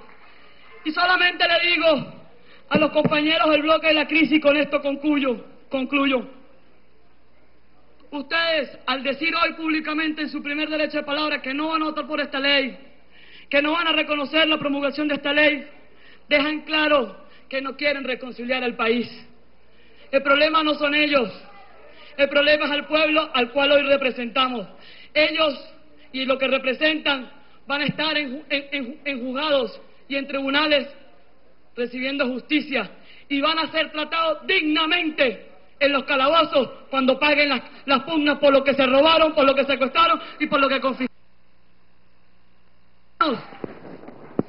Bien, a esta hora se desarrolla la sesión ordinaria propia de este martes. En esta oportunidad están discutiendo el punto de la ley del proyecto de ley de Amnistía Internacional y, y también reconciliación nacional. En esta oportunidad estaba interviniendo la diputada Gabriela Arellano, representante de la Mesa de la Unidad Democrática ante el Estado Táchira. Distintas intervenciones ha habido. Una exposición en primer lugar de la diputada Delsa Solórzano y de allí le han seguido distintos diputados. Así concluye entonces esta intervención de la diputada Arellano. Nosotros enlazamos en esta oportunidad con Venezolana de Televisión mientras se restablece la señal de Globovisión dentro del hemiciclo de la Asamblea Nacional. Se mantiene entonces esta primera discusión del proyecto de ley de amnistía y reconciliación nacional como primer punto que exponen el día de hoy los diputados. La segunda intervención, justamente luego de la de la diputada Delsa Solórzano, quien proponía este punto ante el hemiciclo fue Héctor Rodríguez, del Gran Polo Patriótico, quien pedía y hacía el llamado de extender esta discusión al pueblo de Venezuela, a las distintas plazas y lugares del país, para que se conociera su contenido. Vamos a escuchar al presidente de la Asamblea Nacional. Los siguientes diputados y diputadas. Viallo Piñeri, Ilenia Medina, Freddy Guevara, Edwin Rojas, Pedro Carreño, Richard Blanco, Diosdado Cabello y Henry Ramos, quien cerrará el debate.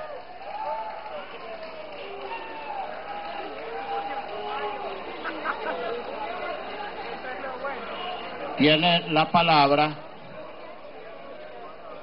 tiene la palabra el señor diputado Viallo Piñeri.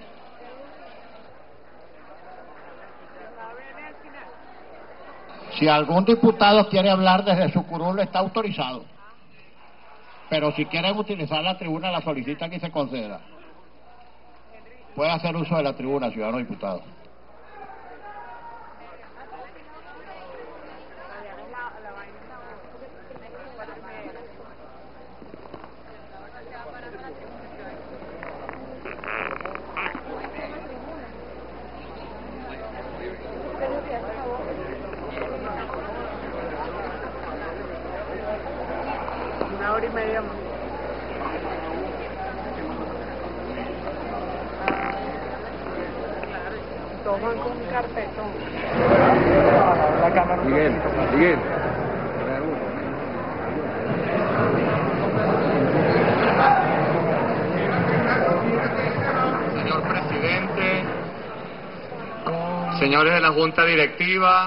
Colegas diputados,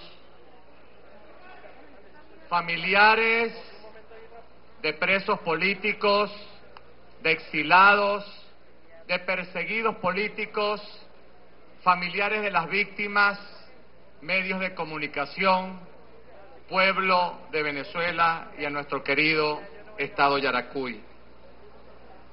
En la vieja Asamblea Nacional en la anterior, durante cinco años consecutivos, un grupo de parlamentarios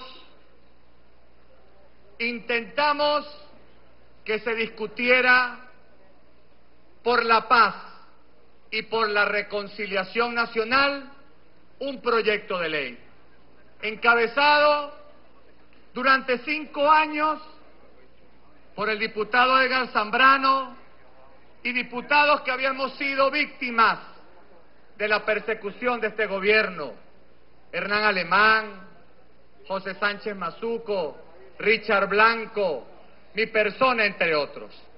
Nunca la bancada que hoy es minoritaria, porque el 6 de diciembre así lo determinó, jamás tuvo la voluntad política para buscar verdaderamente la paz.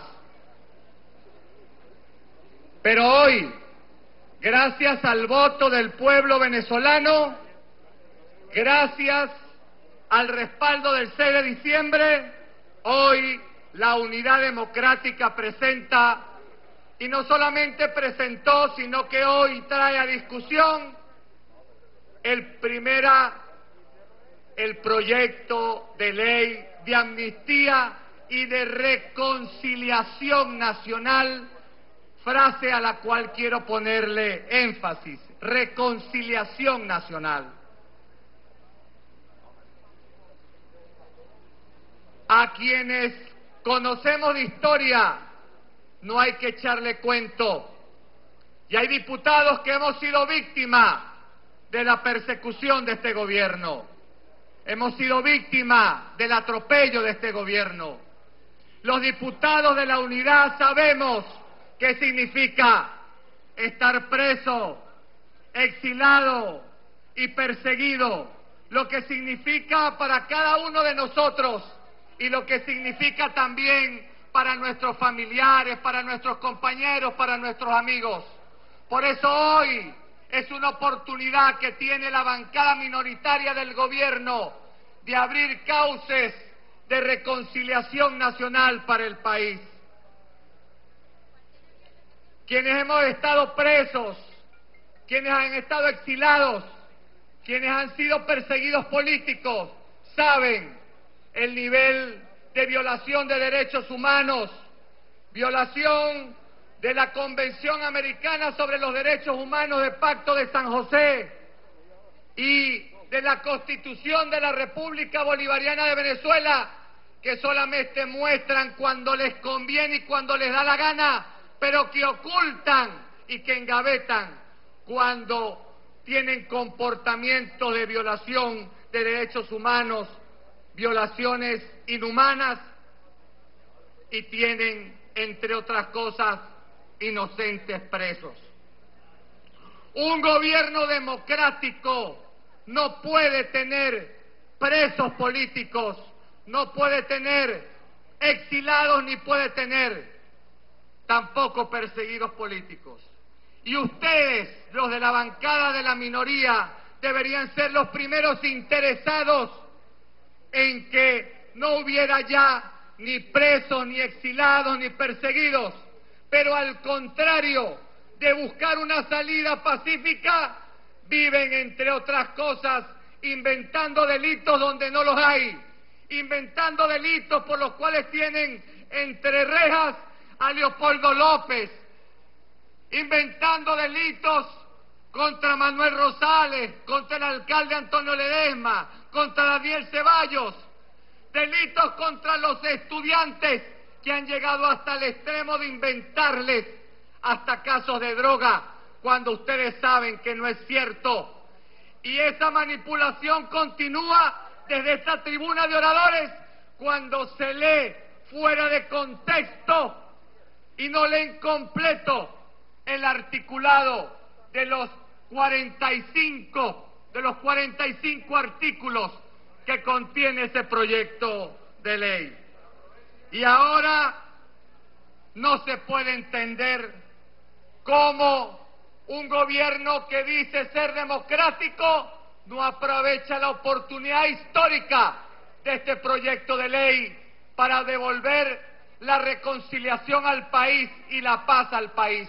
La única explicación para que eso esté sucediendo es que el mismo gobierno que hoy no quiere discutir la ley de amnistía es el mismo discutir la ley de amnistía y de reconciliación política es el mismo gobierno que tiene al pueblo haciendo cola, el mismo gobierno que hace que no le alcance la plata en los bolsillos de la gente. Es el mismo gobierno que no le importa que todos los días maten venezolanos. Es el mismo gobierno que no le importa que los servicios públicos no estén funcionando prácticamente en ninguna parte de Venezuela. ¿Hasta cuándo, señores de la bancada minoritaria del gobierno, vamos a mantener inocentes presos políticos, inocentes exilados, inocentes perseguidos políticos, mientras ustedes no aprueban este proyecto de ley de amnistía para los inocentes, ustedes amnistían con el plan Cayapa y con la impunidad a los verdaderos delincuentes que están en la calle siendo asesinos, narcotraficantes y muchos otros delitos que ustedes amparan a la luz del sol.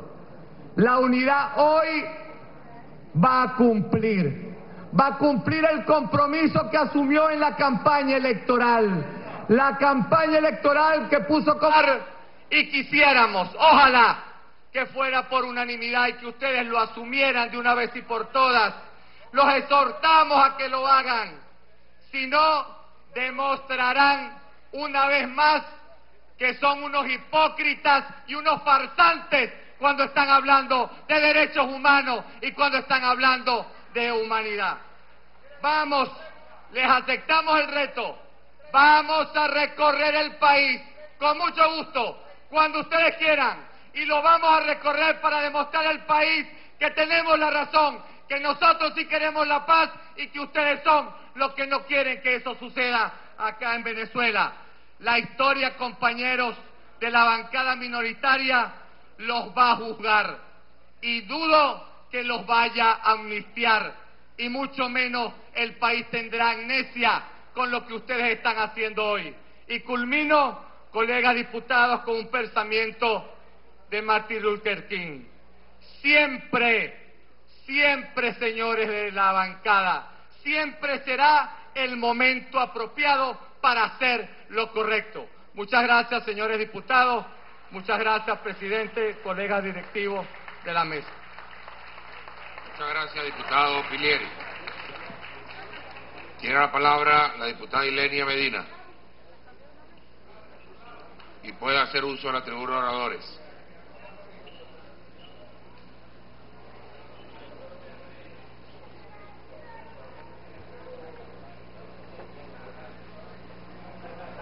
Buenas tardes. Gracias, señor presidente, distinguidos y estimados diputados y diputadas del bloque de la patria y diputados de la derecha. Confieso que escucharlos a quienes han estado acá, particularmente de quienes defienden esto, esto porque no tiene otro nombre.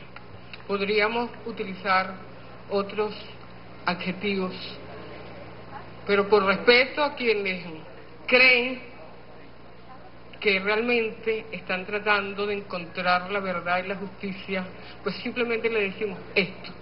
Nosotros nos preocupamos de leer no solamente esto, aquí está, todos en amarillo, con anotaciones, párrafo por párrafo, un marcador, no se enloquezcan, un, un marcador, con un marcador párrafo por párrafo, para tratar de entender,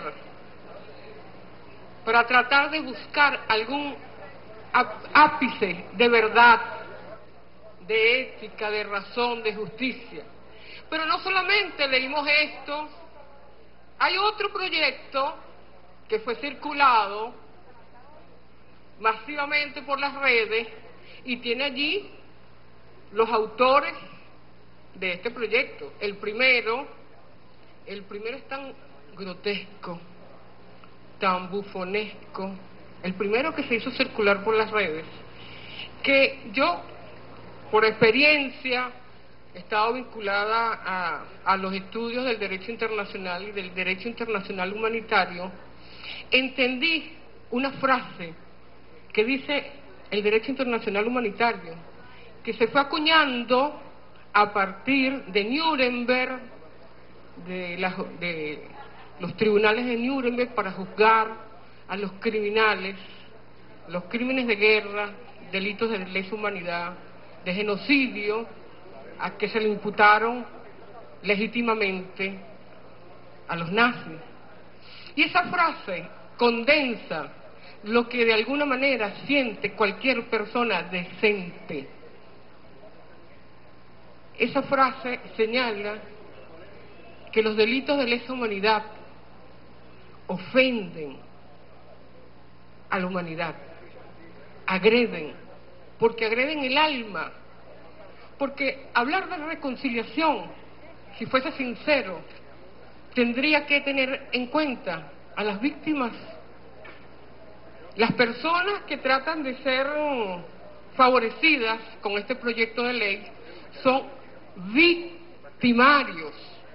Son, las- son los victimarios. Esta ley le han dicho, esta ley se le ha denominado la ley del ultraje, la ley de la impunidad, pero también una que no es, eh, no, no, no se me ocurrió a mí, fue a alguien tan indignado como yo, la ley de confesión de parte. 17 años. En esos 17 años no hay un año donde la oposición no haya cometido delitos graves contra el Estado y contra el pueblo, contra los derechos humanos. Generalmente, nosotros cuando recriminamos la actuación de la derecha, nos referíamos a, a los más inmediatos, al golpe de Estado de abril, al sabotaje de la industria petrolera, que de alguna manera caracteriza genocidio, porque esa es la que alimenta al pueblo venezolano, las guarimbas, las huelgas patronales. Pero acá hay una confesión impresionante, extraordinaria de hechos. Y por ello yo le pido a la bancada de la patria que coloquemos nuestros ahorros acá. Yo los invito, porque es necesario hacerlo, por una razón pedagógica, por justicia y por la verdad. Y aquellos, porque nos hemos dado cuenta que cuando los que me antecedieron en la palabra de los diputados y diputadas de la patria, nos dimos cuenta que la mayoría de ustedes, o unos cuantos, no la han leído. Y los invito a esos que han sido sorprendidos en su buena fe, que también colaboren con nosotros para traducir este documento en todos los idiomas internacionales o los idiomas de Naciones Unidas, el inglés, el francés, el chino, el ruso, por supuesto, en el español, porque eso tiene que ser conocido en el mundo. Realmente la derecha venezolana se ha caracterizado siempre que rompe el marco. En el mundo internacional, los que de alguna manera coinciden con ustedes sentían vergüenza por la manera como se dirigían ustedes, por la manera como era violado el derecho a la información y a la libertad de opinión. Y ahora ustedes también baten récord, baten récord. Yo quiero decirles algo a los jóvenes, porque realmente uno tiene que dirigirse a los jóvenes. En, la, en América Latina y en el mundo hay proyectos de amnistía, efectivamente. Incluso los de las dictaduras más fuertes, más gravosas, que han dejado una marca de generaciones en generaciones. Pero ninguno ha sido tan grotesco como este. En esos, en esos proyectos, en esas leyes de amnistía de Uruguay, de Argentina, punto final, reconciliación, al menos se admitían los delitos, pero también, pero también se entendía que tenía que haber un juicio para ser beneficiado por la amnistía. En este no. En este se habla de reconciliación y la reconciliación es la restauración de la sociedad de cómplices que hubo en la Cuarta República. Aquí no se hace la menor mención a las víctimas. No se reconocen los delitos y el gran responsable es el Estado. ¿De qué reconciliación hablan ustedes? ¿De qué hablan? La reconciliación se construyó en torno a las fracciones del- de la oposición. Empezaron con Simonovic y todos los grandes líderes que tienen ustedes de la violencia. Se enfocaron en Leopoldo López y compañía y luego fueron incorporando para, para que tuviesen apoyo a los terroristas, a los corruptos, a los narcotraficantes, a los banqueros prófugos. Eso es reconciliación. Eso es reconciliación. Y además, desde el presidente de la Asamblea hasta los que presidieron por la derecha, la señora Arellano y el, todos, amenazan. Amenazan al Estado Social de Derecho y de, Justicia. Amenazan al chavismo. El presidente de la Asamblea se dio el tupé de hacer el primer día, el 5 de enero, de declarar que el jefe de Estado le quedan seis meses. ¿Y en qué parte de la Constitución está eso? ¿En qué parte? Por Dios. Ustedes dicen, y es interesante que hablemos sobre esto, ustedes, ustedes se amparan en un cliché que ni siquiera es evidente que es parte del marketing político, es que nosotros pensamos distinto, pero ni siquiera eso, pero ni siquiera eso. Es importante señalar esto, ustedes son parte de la cultura dominante que existe, que nosotros nos encontramos cuando, llegaron las carabelas. Ustedes son parte de esa cultura dominante. Los que pensamos distintos somos nosotros. La visión Acá se exponen, en este proyecto de ley vergonzoso, se exponen efectivamente dos modelos. Se exponen dos modelos claritos.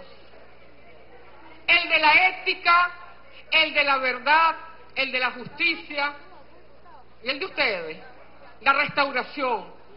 El señor presidente de la República Constitucional de Venezuela, Nicolás Maduro Moros, seriamente cuando envió su mensaje anual a la nación, fue sumamente claro.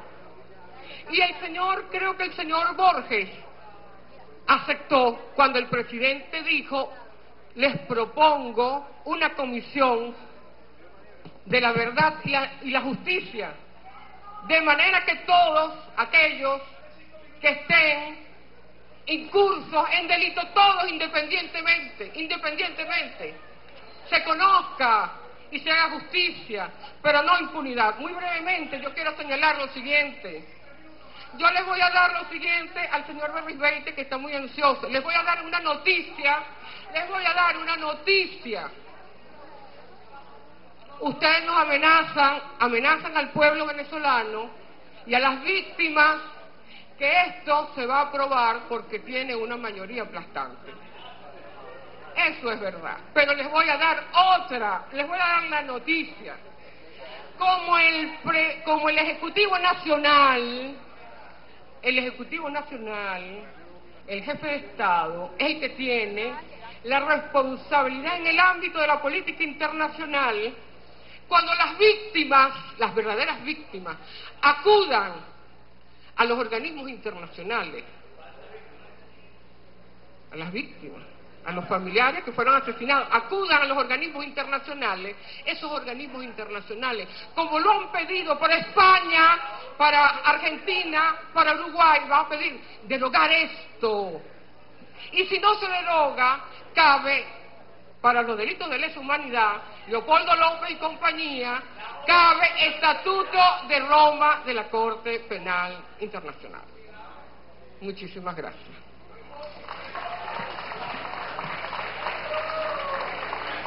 Tiene la palabra la diputada Nora Bracho. Bien, como ven, a esta hora se desarrolla la primera discusión del proyecto de ley de amnistía y reconciliación nacional. Aún sigue este debate, sin embargo, también tenemos otra pantalla, como bien ustedes lo han observado eh, hace varios minutos, eh, a propósito del seguimiento que tiene Globovisión también del viaje del Papa Francisco a México. Él ya llegó a la Catedral de Morelia, en la ciudad donde se encuentra el día de hoy, capital de Michoacán y ya estuvo en este encuentro con 660 niños de esa localidad y en esta oportunidad pues disfruta del coro monumental de Morelia que le dedica ahora mismo un canto al Papa. Nosotros vamos a hacer entonces un alto en esta pantallita que tenemos allí del lado derecho y seguimos con la discusión de la Asamblea Nacional primera discusión del proyecto de ley de amnistía y reconciliación nacional. Los hoy presos políticos de nuestro país. Realmente este es un tema que tiene a toda Venezuela pendiente, no solamente de la Asamblea Nacional, sino de el país completo y la situación que estamos viviendo en estos momentos. La ley de amnistía es una ley del perdón, del perdón de las penas, pero yo creo que mucho más allá del perdón de las penas, esta ley está cargada de justicia, de justicia para todos esos hombres que hoy se encuentran privados de libertad y que realmente son inocentes. Hombres que cuyo único pecado ha sido ser eficientes, haber trabajado por los ciudadanos, haber visto mucho más de la sociedad que hemos tenido durante estos 17, casi 18 años. Un gobierno que ha sido hambreador de nuestro país. Un gobierno inmensamente corrupto. Un gobierno que realmente ha dilapidado el dinero y los recursos de todos los venezolanos y que hoy nos tienen en la más grande carestía vivida en la historia democrática de Venezuela. Este gobierno ha manejado todos los recursos, recursos a manos llenas, y no ha habido ni siquiera un control para ellos. Por eso es que todos estos hombres que se encuentran presos hoy son víctimas de la persecución política, el uso bizarro de las leyes, porque no hay elementos jurídicos reales para que ninguno de ellos esté preso. Manuel Rosales, Ceballos, Leopoldo López, Ledesma, Simonovi, Forero, Lorenzales, los estudiantes, los policías metropolitanos, que muchos se han olvidado de ellos, y todavía hoy recuerdo los gritos de las madres, de las esposas y de las hijas, cuando los condenaron a 30 años de prisión. Gritos pidiendo auxilio por la injusticia cometida con los policías metropolitanos. A todos los exiliados, tantas personas, tantos hombres y mujeres perseguidos por el gobierno nacional. Y es que la realidad, la realidad es que, cito a Montesquieu, no hay peor tiranía que la que se ejerce a la sombra de las leyes y bajo el calor de la justicia. Y eso es lo que ha sucedido con este gobierno, con este gobierno que aquí está representado en la bancada de Maduro, que pretenden seguir tapando el sol con un dedo y seguir conduciendo la justicia venezolana como un brazo político, el TCJ como un brazo político del PSV, un brazo político que persigue y que persigue porque sencillamente tienen miedo. Y tienen miedo de la eficiencia, de la eficacia, del trabajo, de la cercanía con el pueblo. Como Zuliana, como Zuliana, no me puedo olvidar que en estos momentos hay un hombre preso en el helicoide, como lo es Manuel Rosales, un zuliano.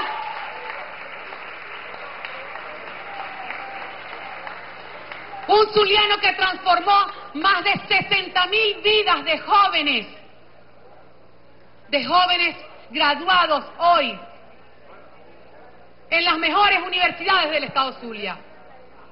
Hombre transformador de vida, hombre humano y cercano con el pueblo.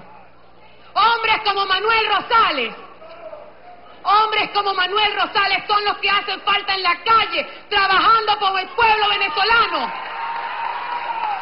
Hombres como Ceballos, hombres como Leopoldo, luchando por la democracia venezolana, luchando por la verdadera justicia, la verdadera justicia social. No esa justicia de la que hablan ellos y que me apena tener que recordar que ser rico es malo pero qué sabroso viven estos compañeros que todos los días se bajan en camionetas de último modelo aquí en la Asamblea Nacional. Qué sabroso vestir de Louis Vuitton.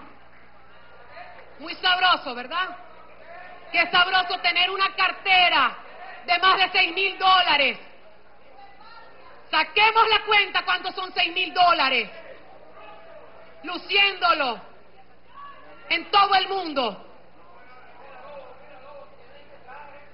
Y por eso, mis queridos amigos, por esa justicia roja, es que tengo que presentarles a ustedes que simplemente han perseguido a hombres y mujeres por el trabajo realizado en el pueblo venezolano, de la mano con el pueblo. A Manuel Rosales, por ejemplo, se le persiguió por su trabajo. Y aquí está el documento apostillado y notariado en República Dominicana por el magistrado Aponte Aponte, donde dice y manifiesta que la presidenta del tribunal, la doctora Luisa Estela Morales, le instruccionó el ataque y la persecución política a Manuel Rosales Guerrero. Aquí está una prueba.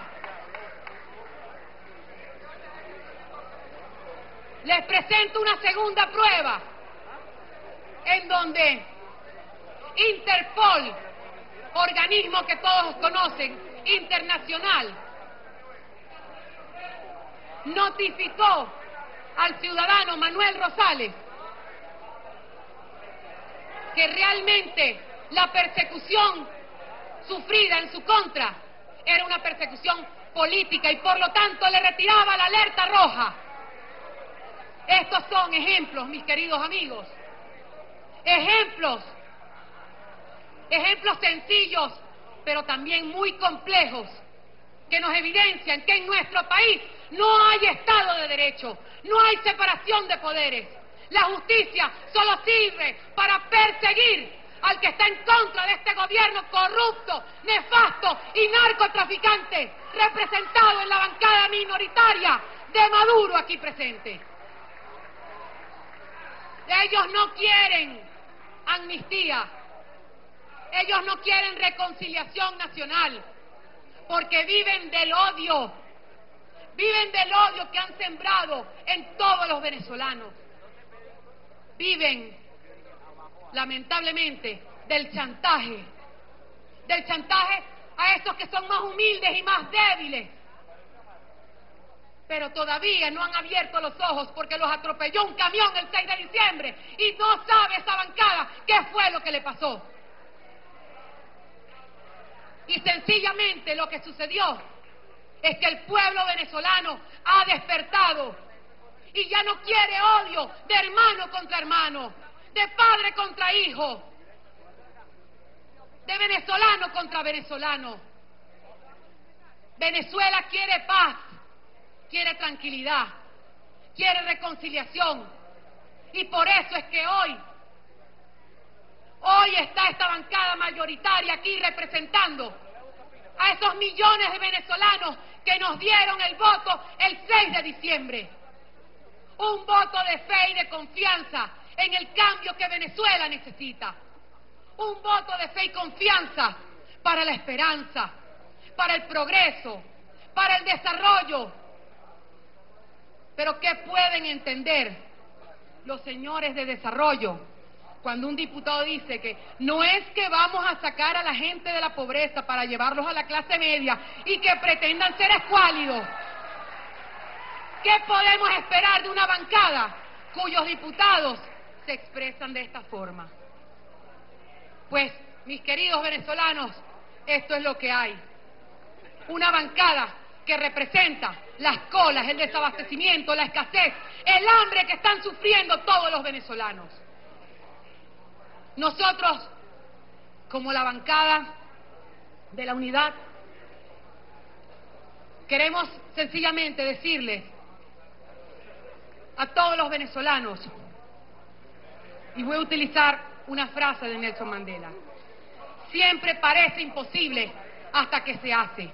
Y el 6 de diciembre a lo mejor parecía imposible que fuéramos mayoría en la Asamblea Nacional y hoy estamos representando constitucionalmente a la mayoría venezolana.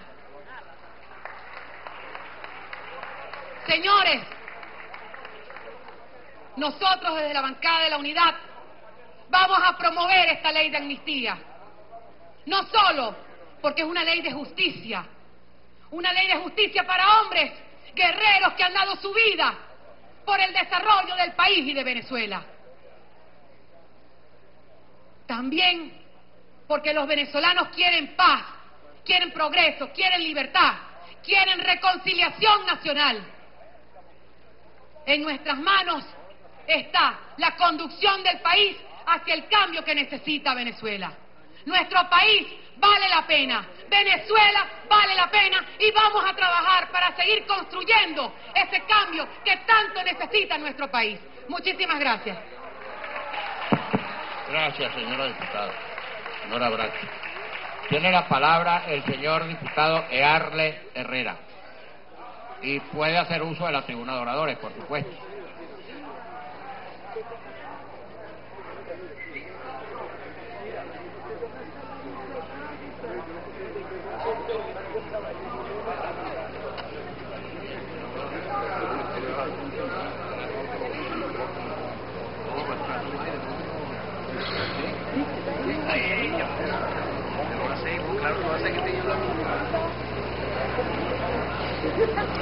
Muy buenas tardes, colegas diputadas y diputados, pueblo de Venezuela. Me gustaría darle la, eh, la buenas tardes también a una de las partes que nos convoca esta tarde, pero no se le ha permitido entrar al hemiciclo. Allí dice amnistía es reconciliación. Nadie se reconcilia solo uno se reconcilia con alguien, con otra parte, y en este caso esa otra parte no se le ha permitido entrar a este hemiciclo. En la primera oportunidad se les atropelló, se les acusó de estar inyectados de odio, personas con su marido muerto, personas con discapacidad, por los disparos que recibieron porque aquí se ha dado una cuestión con la palabra odio, que deberíamos todos y todas releer aquel poema de Nicolás Guillén, que nos decía, no sé por qué piensas tú, soldado, que te odio yo. Aquí si uno dice que a un artista, a un profesional, en alguna parte del este de Caracas, le echaron agua hirviendo y dice, ustedes son los culpables porque nos inyectaron el odio. Y sobre esa base de que les inyectaron del odio, pueden matar, pueden asesinar. Cuando uno tiene cédula de identidad, es mayor de edad y de este domicilio, nuestros crímenes son nuestros. No es que alguien me influyó o que alguien me lo endosó o me hizo actuar de esa manera. En todos los procesos, en todos los procesos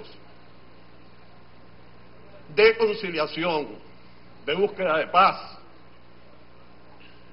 de guerras, en todos aquellos procesos, siempre están presentes las víctimas, excepto en este.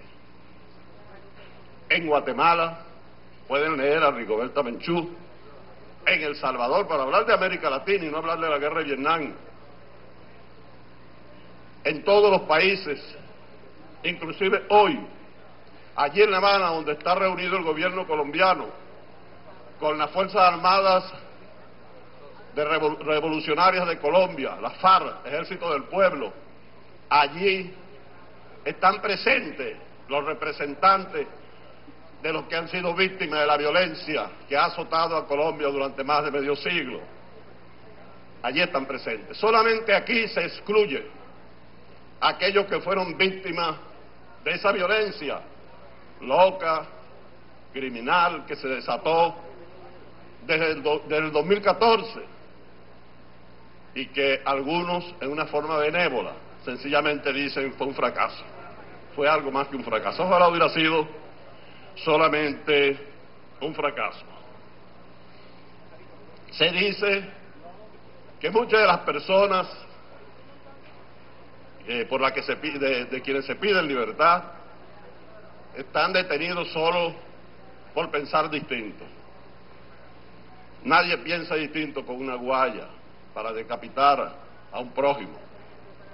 Nadie piensa distinto cuando incendia un automóvil con un señor adentro y con su señora y con su perrito. Nadie piensa distinto con instrumentos para cegar la vida de los demás.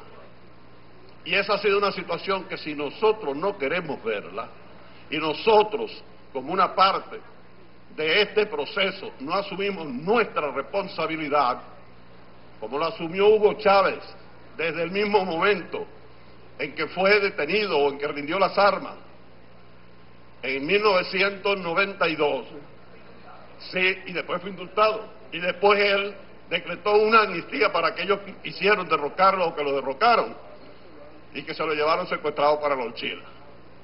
Pero asumió su responsabilidad. Y en este sentido, cuando nos sentamos a conversar y cuando nos sentamos a dialogar para buscar la reconciliación, porque ustedes no presentan solo una ley de amnistía, sino una ley de, amnistía y reconciliación, de una manera bien curiosa. Casi todos los oradores que han pasado por aquí para hablar en nombre de la oposición venezolana nos han amenazado, que no nos vamos a salvar, que nos van a perseguir, que va a haber justicia. Es decir, yo me quiero reconciliar contigo, muérgano, perro, rata, me dio de reconciliar mientras te estoy ahogando y con una pata en el pecueso. Es una reconciliación sui generis. Es como que si tú empezaras a hablar realmente y de repente te vas cargando y empiezas, si tú empiezas a leer este proyecto de ley de amnistía y nosotros queremos buscarle solución a los problemas, nosotros hemos hablado de diálogo. El presidente propuso aquí una comisión para ver, aquí mismo se han parado ustedes y dicen, sí, reconciliación, pero habrá justicia. Bueno, eso lo queremos todos, que haya justicia. Y justicia significa que se investiguen los delitos de allá y de aquí. Esta, perdón, este proyecto, este proyecto, ¿por qué te hablo? Este proyecto, no se preocupe, que después que nos reconciliemos nos vamos a sentar a hablar. Este proyecto que habla de reconciliación, no solamente por todo lo que leyó el compatriota Héctor Rodríguez, de las aberraciones en cuanto a los artículos que están aquí. Es una cuestión, realmente esta es una locura. Yo no leía tanto disparate desde que leí los cantos de Maldoror, que son los cantos del surrealismo en la literatura universal. Esto es un disparate. Pero además te da licencia, no solamente para el terrorismo, o para consumir drogas siempre que lo hagas en un campamento, sino que además dice que quedan amnistiados los delitos cometidos desde 1999 y aquellos que se cometan hasta que esto entre en vigencia. Es decir, que en este momento, por allí puede haber gente quemando carros, quemando autobús, quemando niños, y esta ley, que todavía no es ley, ya lo protege. Eso es un absurdo, pero está escrito aquí. Artículo número 2. Ustedes lo escribieron aquí. Bueno, yo tengo aquí este pin, es de la Asamblea Nacional Constituyente. Nosotros fuimos corredactor de este texto fundamental. Y en materia de derechos humanos, esta es una constitución paradigmática. Pero esta constitución también establece que este es un Estado de derecho y de justicia. Y eso es lo que nosotros queremos plantear. Vamos a sentarnos, vamos a buscar la reconciliación, pero vamos a investigar qué pasó aquí. Y vamos, voy a concluir con lo siguiente. Miren, yo tengo aquí una carta del general Alberto Müller Roja. Se la dirige a Provea, organismo de los derechos humanos, no, no, muy chavista que digamos, a los amigos de Provea. Se la dirige en el año 2003 y se la dirige por lo que él consideró que lo violaron sus derechos humanos. El general Müller Roja, un general de división retirado, profesor de la Universidad Simón Bolívar, profesor de la Universidad Central de Venezuela, que las Naciones Unidas le habían otorgado una medalla. ¿Saben cuál medalla? La medalla de la paz. Y estaba el primero de diciembre de ese año, recibiendo el año nuevo en un hotel de Caracas, lo rodearon un grupo de personas, lo tuvieron caceroleando durante seis horas. Aquí se habló de cáncer. Él dijo, soy general de división, estoy armado y tengo un cáncer terminal. Durante seis horas lo cacerolearon aquí. Alguien que hoy se dice que es preso político y su esposa. Dirigieron las huestes que rodearon a este hombre de más de 80 años y lo estuvieron caceroleando. Esa gente hoy pide reconciliación porque el general Müller no se dejó cacerolear y porque los odiaba. Aquí tengo yo unos textos. Si la persona a la que yo nombre pide derecho a réplica, no importa. Pues como es el presidente de la Asamblea, él está acostumbrado a hacer el mismo.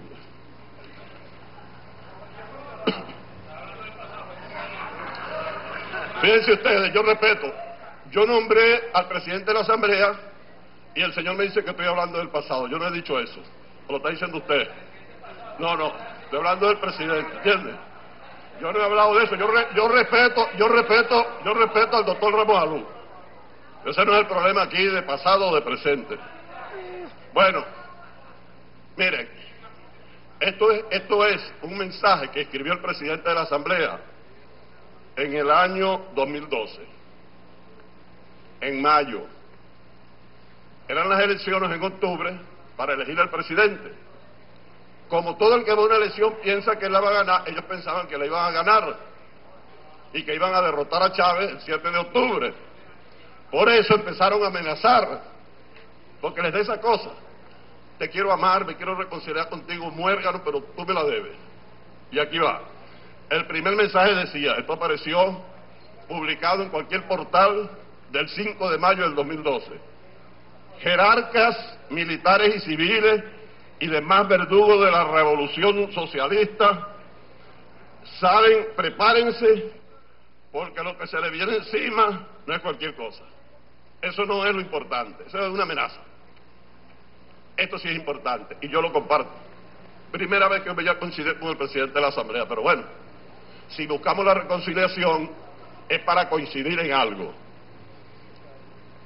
Henry Ramos Aluz decía en este tuit lo siguiente, en el año 2012, no habrá persecuciones cuando ellos ganen, pero se hará justicia.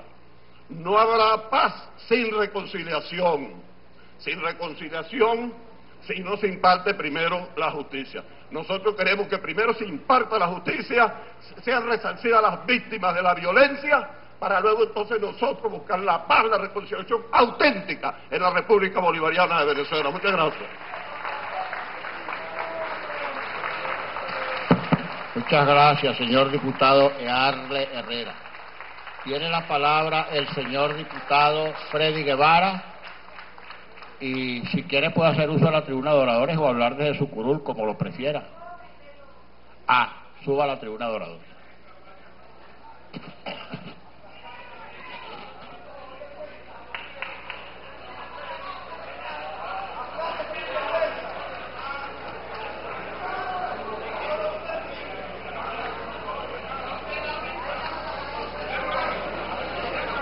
Está bien.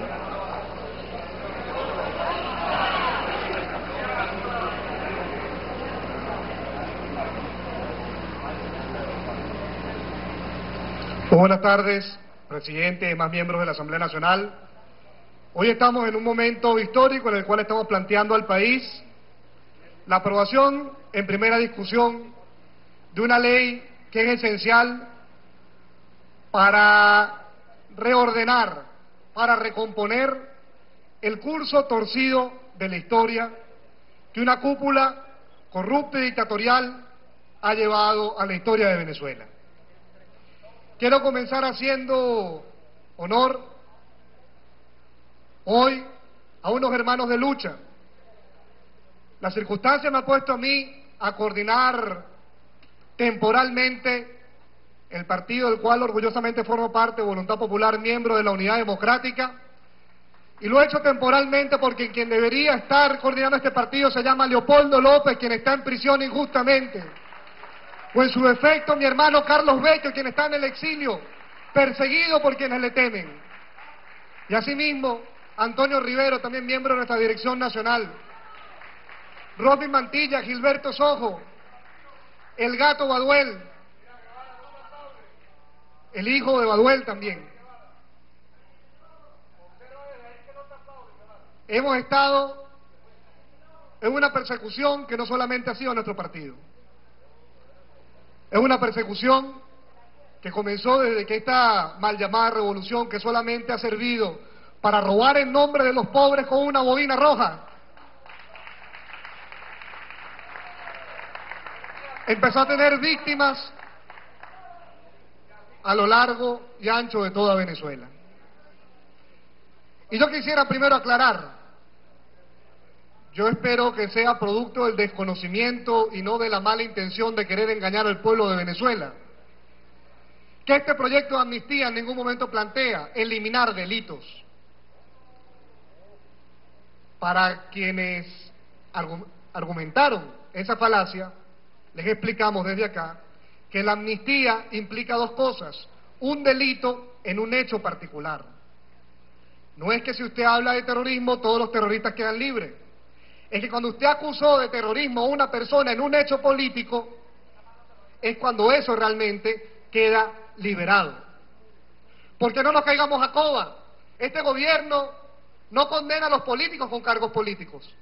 No, les inventa delitos comunes. Les inventa delitos comunes para esconder la verdadera intención que es encarcelar a quienes se oponen y retan al poder. No es casualidad, no puede ser casualidad que todos y cada uno de los que han sido aspirantes a la presidencia de la República han sufrido persecución de alguna u otra manera. Manuel Rosales, Pablo Pérez, Enrique Capriles, Leopoldo López, Antonio Ledesma, María Corina Machado, Diego Arria. ¿Es coincidencia eso? Que todos aquellos que se han atrevido a querer retar al poder estén hoy en día en algún tipo de persecución. Pues obviamente no. Y eso nos tiene que llevar a nosotros a reconocer una verdad que es indebatible. Venezuela es un país profundamente injusto. Injusto en lo económico, porque tienes unas personas que no saben qué hacer con el sueldo mínimo, mientras otras, porque están enchufadas, se hicieron millonarios de la noche a la mañana y tienen más dinero que todas las empresas polar y los bancos de este país. Un país profundamente injusto en lo social, porque hay quienes se mueren por falta de medicinas, mientras la ministra Sader está en libertad. Y un país injusto en lo político, porque lo que es bueno para el pavo es bueno para la pava. No puede ser posible que quienes hoy en día están en el gobierno hayan decretado una amnistía para un golpe de Estado en el año 92 y digan ahora que eso fue mucho menos grave que cualquiera de las otras cosas que hemos realizado cualquiera de los que estamos acá. Y yo voy a hablar de la injusticia no en términos filosóficos, filosóficos sino con hechos concretos. ¿Qué es injusto? Injusto es que los pistoleros de Puente Llaguno estén libres mientras los policías metropolitanos están presos. Eso es injusto. Injusto es que Manuel Rosales esté en prisión cuando el magistrado que llevó su caso haya confesado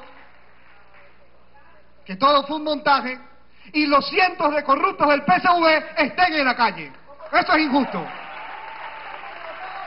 Injusto es, injusto es que los asesinos de Basilda Costa estén libres, mientras Leopoldo López está en prisión y no puede ver a su familia ni a sus hijos. Y saben también que es injusto, y voy a hablar para las víctimas o lo que se llama el Comité de Víctimas de la Guarimba. También es injusto que estén utilizando políticamente esas muertes y no les hayan dado respuesta. Porque yo pregunto algo. ¿Hay acaso algún francotirador preso?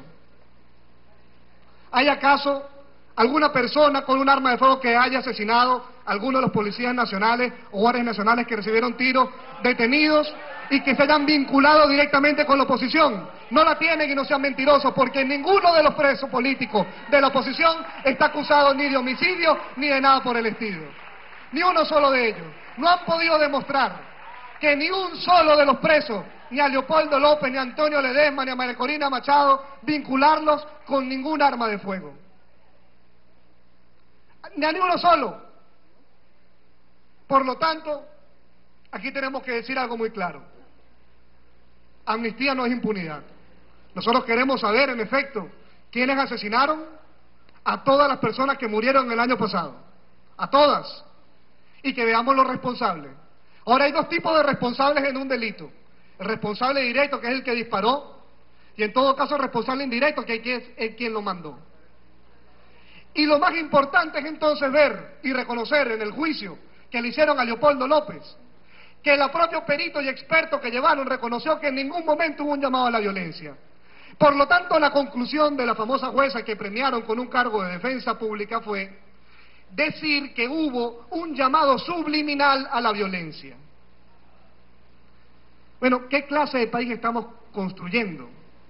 Cuando alguien se atreve a poner la interpretación de lo que el otro realmente quiso decir.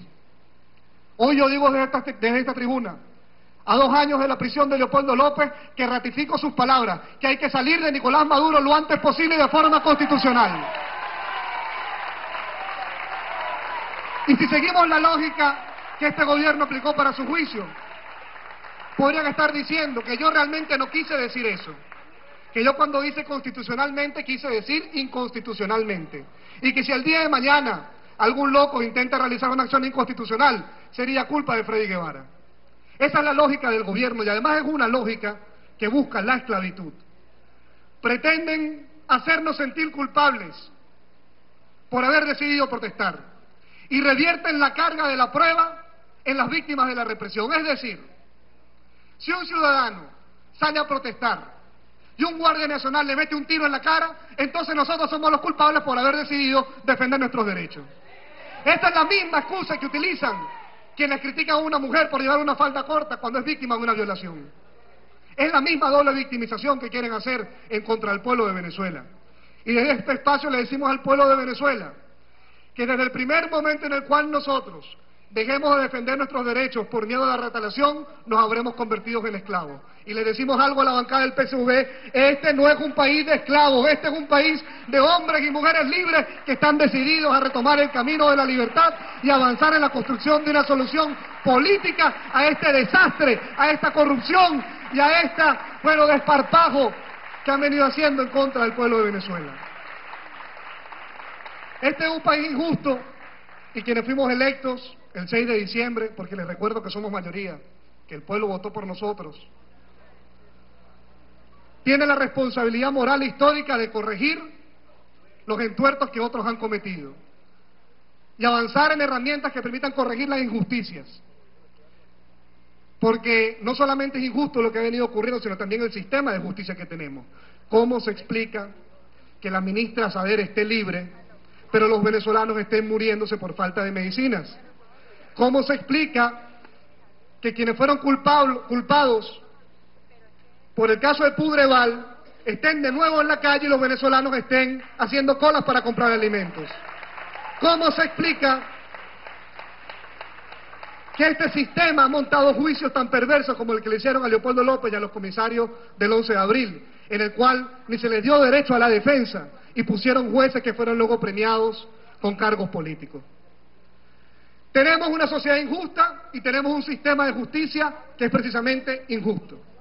Y por lo tanto, esta Asamblea Nacional que representa al soberano, al pueblo de Venezuela, tiene el deber histórico de corregir aplicando la Constitución. La Constitución nos da la facultad exclusiva a la Asamblea Nacional para aprobar las amnistías. No se le da a ningún otro poder. Y somos nosotros quienes tenemos la responsabilidad de corregir esto. Y finalizo entonces haciendo mención y un llamado a los amigos del PSV, solicitarles en primer lugar que superen pronto el shock postraumático que tuvieron el 6 de diciembre. Y terminen de entender lo que pasó realmente en Venezuela. Y que se convierten en facilitadores del cambio y no se aferren a las togas de unos magistrados para seguir defendiendo los privilegios que una cúpula sigue manteniendo en contra del pueblo. Y les decimos que ustedes una vez más tienen una oportunidad de pasar a la historia, no como los últimos que se aferraron a un proyecto inviable, sino por el contrario seguir el ejemplo de Gorbachev o de De Klerk, que antes de entender, que cuando entendieron, mejor dicho, que ese sistema era inviable, decidieron ser facilitadores para el cambio político. Y al pueblo de Venezuela le damos un mensaje muy claro. Y con esto, en definitiva, termino. No pensemos que esta ley de amnistía se va a aprobar en el hemiciclo. La bancada del PSV ha dejado muy claro el camino que quieren tomar. Quieren desconocerla. Pero yo les digo algo.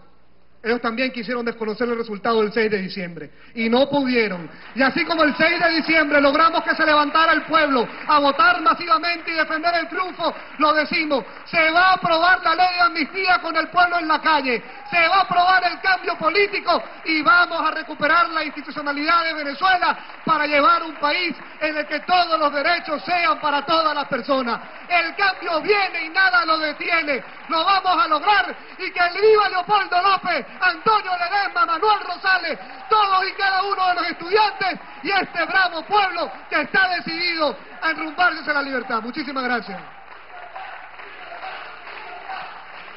Gracias, señor diputado Freddy Guevara. Tiene la palabra el señor diputado Edwin Rojas y puede también hacer uso de la tribuna de oradores.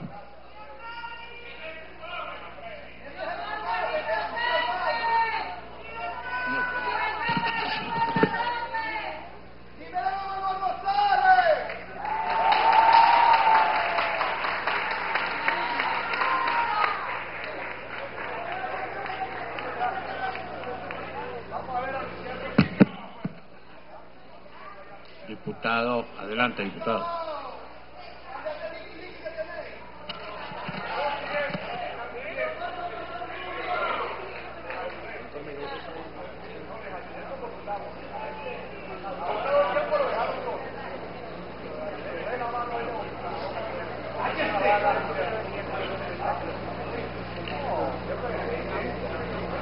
Sí, buenas, buenas tardes, pueblo de Venezuela.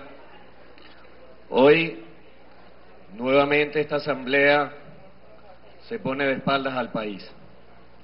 Hoy, nuevamente, esta asamblea, a través de lo que es esta, esta ley de amnesia criminal, ley de amnesia criminal, pretende plantear a Venezuela. Nosotros los venezolanos, el presidente Nicolás Maduro ha convocado al país como un todo a la atención de lo que son los problemas principales del pueblo venezolano. Reactivar el aparato productivo, reactivar el sistema económico, la generación de alimentos, abastecimiento y precios justos, vencer el boicot económico y sobre todo fortalecer el sistema farmacéutico nacional que permita suplantar las deficiencias que hoy viven los venezolanos producto del boicot y de la guerra económica. Los venezolanos hoy les preocupa la comida y sus medicinas, no les preocupa que un delincuente como Leopoldo López esté en la calle. Los venezolanos hoy, dice la amnistía, uno de los requisitos formales de este proyecto que fue presentado hoy, viola todo lo que es el mecanismo constitucional de lo que es una amnistía. Amnistía está fundada en lo que es el perdón y lo que es el olvido.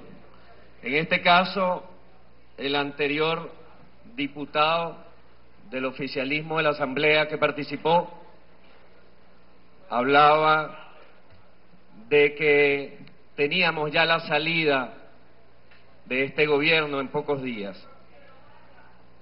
Y vemos qué tipo de reconciliación se le plantea al país. Un requisito fundamental de la amnistía, pueblo venezolano, es que haya reconocimiento de los hechos. Un segundo elemento de la amnistía habla de que haya garantía y certeza de la no reincidencia de los hechos. Pero cuando leemos las declaraciones que el ciudadano presidente de esta Asamblea dio la semana pasada contra el Poder Judicial, llamando a desconocer las instituciones del Poder Público Nacional, cuando vemos la anterior participación de los diputados de la mesa de la ultraderecha, cuando vemos sus declaraciones, podemos observar que hay una voluntad y una intención de reincidir en los hechos, lo cual, como segundo elemento, genera desde el punto de vista de la jurisprudencia, desde el punto de vista del derecho penal internacional y del, derecho internacional humanitario, la descalificación de este proyecto de amnistía. Habría que decirle a los venezolanos, por ejemplo, que la amnistía, como se ha hecho en otros países del mundo, viola la Carta de las Naciones Unidas. Uno de los requisitos que establece las Naciones Unidas es, en primer lugar, el reconocimiento de los hechos.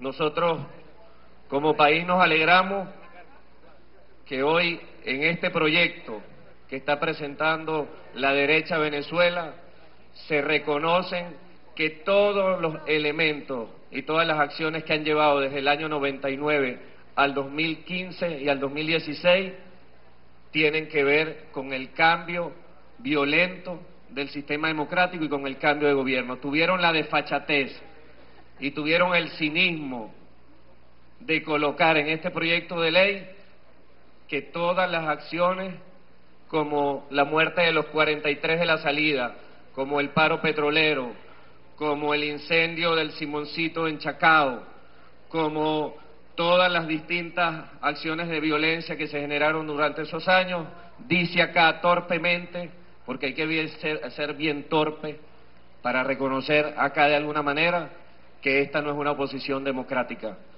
Y en ese sentido, sepa el pueblo venezolano que a pesar de que el 6 de diciembre hubo una elección donde se logró una mayoría circunstancial dentro de esta Asamblea Nacional por parte de la oposición, esa es una mayoría vinculada a que esta Asamblea tiene una legitimidad de origen.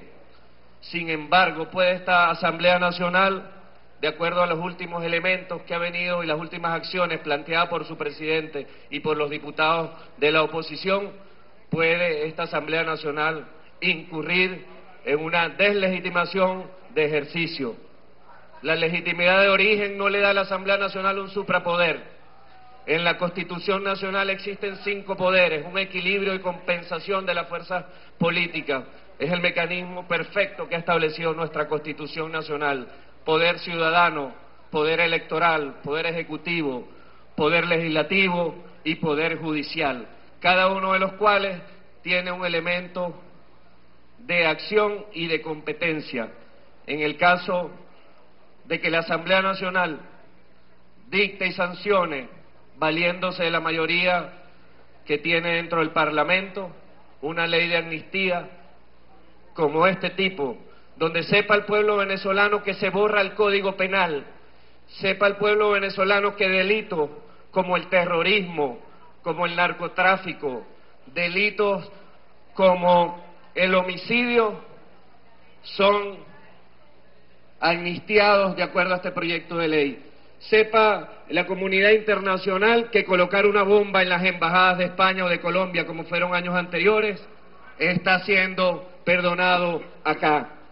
Sepa los Estados Unidos, por ejemplo, que hoy se vive en una lucha internacional con el tema de ISIS, de Al Qaeda, que acá uno de los artículos de este proyecto, acá en el artículo 12 se habla de legitimar la salida, pero en el artículo 15 se patrocina y se valida el terrorismo internacional. Sepa la oposición y sepa el pueblo venezolano que la amnistía no es procedente para delitos de narcotráfico, de terrorismo o de violación de derechos humanos. Así lo establece nuestra Carta Magna, así lo establece el Manual de las Naciones Unidas para la Amnistía.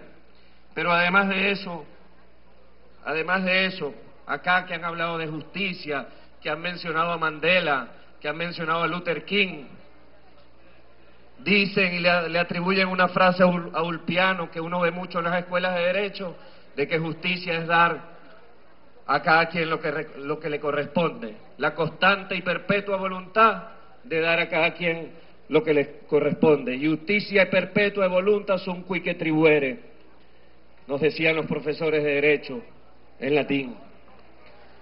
Y acá parece que no es dar a cada quien lo que le corresponde, sino que acá es legitimar la acción vandálica, terrorista, homicida, de narcotráfico de un grupo privilegiado en perjuicio de otro. Este proyecto de ley, además, sepa el pueblo de Venezuela, no contempla las víctimas del paro petrolero, las víctimas de la guarimba, las víctimas del terrorismo en las embajadas, las víctimas de todas las manifestaciones que dice acá el proyecto. Cada artículo parece que fue hecho un traje a la medida de cada uno de los agentes de oposición. Sepa además esta Asamblea Nacional que aprobando este proyecto están incurriendo en una situación de impunidad que pone a la Asamblea al margen del sistema constitucional y el sistema democrático venezolano.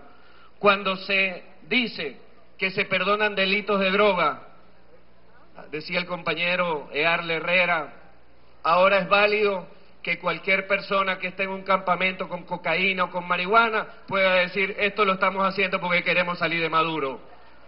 Si mañana a alguien le roban el celular en la calle y va preso, puede decir, de acuerdo a esta ley de amnistía, te robé el celular porque voy a mandar mensajes contra el régimen. Si mañana cualquier familiar venezolano que ha sido víctima de la violencia delictiva, si llega un plan o llega algún criminal y dice, estoy sacando dinero, te he, hurtado, he robado tu casa porque esto es para financiar las protestas contra Maduro, entonces se puede apegar a esta ley. Eso es lo que establece esta ley, pueblo venezolano, la impunidad, que miles de personas puedan alegando esto y diciendo que el delito de homicidio o la violación que hizo de su hija o el robo de su casa o el secuestro, digan que el secuestro era para buscar recursos para el cambio y la salida de Maduro. Esa es la ley de la impunidad que se está estableciendo acá. Dice además que el robo, el artículo 24, se concede amnistía a la sustracción de elementos de la Fuerza Armada. Si mañana llega una persona a robarse elementos de nuestra Fuerza Armada, entonces sería validado porque es interesante que nuestro pueblo sepa que en esta ley de amnistía el periodo de vigencia es desde 1999 hasta que ella se aplica, dándose los compañeros diputados de oposición una camisa de protección para hacer cualquier llamado a la rebelión o cualquier llamado contra el sistema penal, el sistema democrático venezolano. Es decir, que cualquier delito que en estos momentos ellos cometan sea patentado y sea legalizado por esta ley. Pero además de eso, es importante que el pueblo venezolano sepa, allá en todo el país, y les mando un mensaje especial a nuestro pueblo de Sucre, que nos está escuchando, solo procede la amnistía respecto a delitos que no violenten derechos humanos, respecto a delitos que además sea asumido la responsabilidad penal por, por parte de los que lo han cometido. ¿Qué ejemplo le estamos dando nosotros a la sociedad venezolana? ¿Qué ejemplo le estamos dando al pueblo de Venezuela si le estamos diciendo que cometer delitos, que esta es una sociedad irresponsable, que esta es una sociedad donde cometer delitos si se patentiza bajo una figura política, es válido. ¿Qué ejemplo se le está dando a nuestros hijos si le decimos que alguien que colocó una bomba, que alguien que mató con una guaya jóvenes, que alguien que traficaba drogas, que alguien que utilizó una finca en el Atillo, en la ciudad de Caracas, para tener paramilitares. ¿Qué ejemplo le damos nosotros a la sociedad si queremos construir una sociedad de cómplices simplemente por el tema político? Ya para culminar, ciudadano, presidente, pueblo de Venezuela, es importante que ustedes sepan que cualquier cosa que se aprueba acá valiéndose de su mayoría tendrá sus respectivos controles, control judicial y control político. El presidente de la República tiene en sus manos las potestades de revisión de cualquier proyecto que violente el Estado democrático que salga de acá. Pero además de eso, como toda ley, tiene todos los mecanismos para ser revisado siempre y cuando viole el Estado de Derecho. Nuevamente, decirles, como lo decía Silvio Rodríguez en aquella canción del necio, citándole aquella canción del necio y viendo todas las amenazas, porque esta ley ha sido planteada como ley de amnistía y de reconciliación nacional. Es como decirle, decía ya Earle Herrera, como decirle a la pareja, yo me quiero reconciliar contigo, prostituta, animal, delincuente. Eso es lo que le está diciendo esta oposición al pueblo. La reconciliación se basa en eliminar un grupo político por otro. Las amnistías no proceden cuando tienen que ver con borrar un sistema ideológico por otro. Y cuando aquí se plantea borrar al chavismo, cuando aquí se plantea acabar al chavismo, estamos hablando de un crimen de intolerancia y estamos hablando de que la intolerancia es un delito también castigado en el derecho internacional público y en el derecho internacional humanitario. Esa no es la reconciliación que el pueblo de Venezuela quiere. Voy a terminar un minuto, presidente. Que impulsa el gobierno.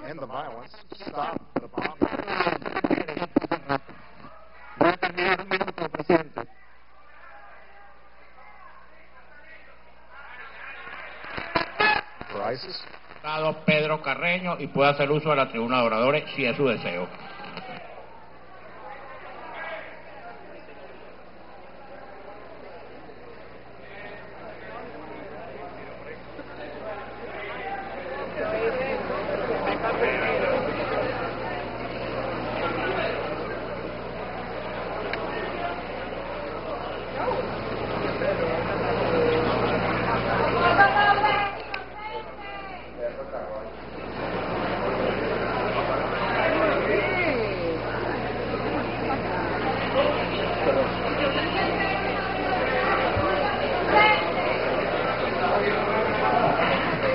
Junta directiva, colegas parlamentarios. Con esta derecha reaccionaria y su comportamiento apátrida, nunca se va a perder la capacidad de asombro.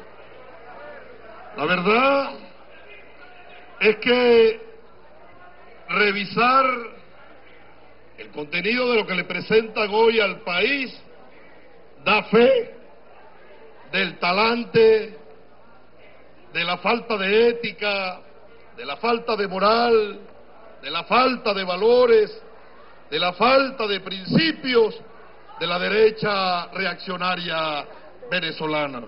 Y además, yo pudiera acotar a todo ello que con este proyecto de ley de amnesia criminal tratan de burlarse de la inteligencia del pueblo venezolano.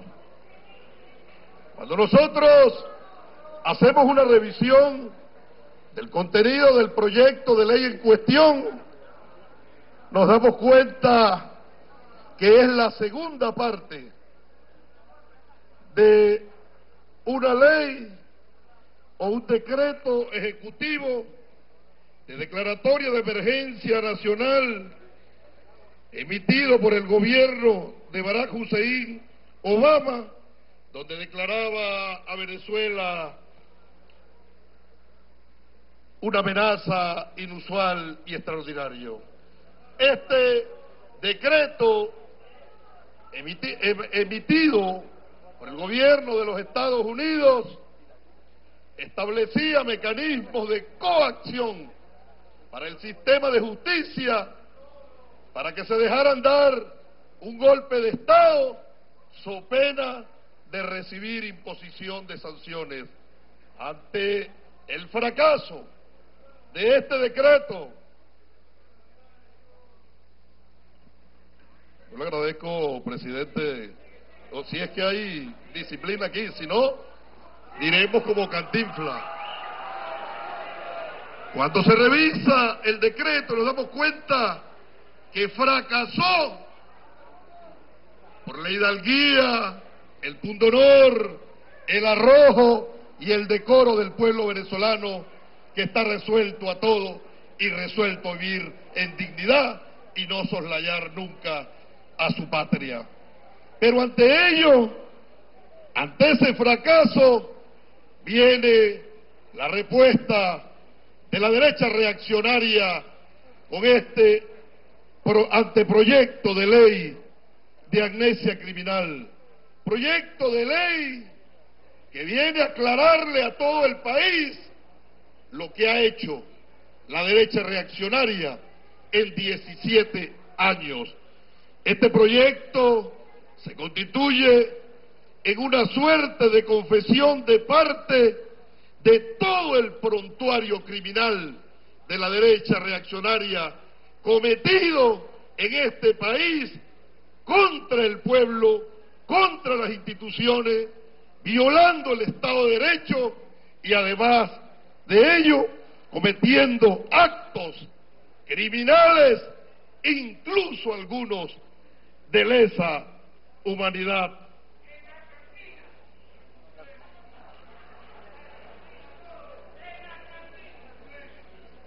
Yo voy a hacer una digresión para decirle lo que le dije al vago de Miranda. Presente una prueba, un indicio, una evidencia, y yo renuncio a la diputación. Pues yo tengo honor que presente una prueba. Yo sí tengo las pruebas del BMW. Ahí las tengo. Ahí las tengo. El artículo 2 de la ley en cuestión establece lo siguiente.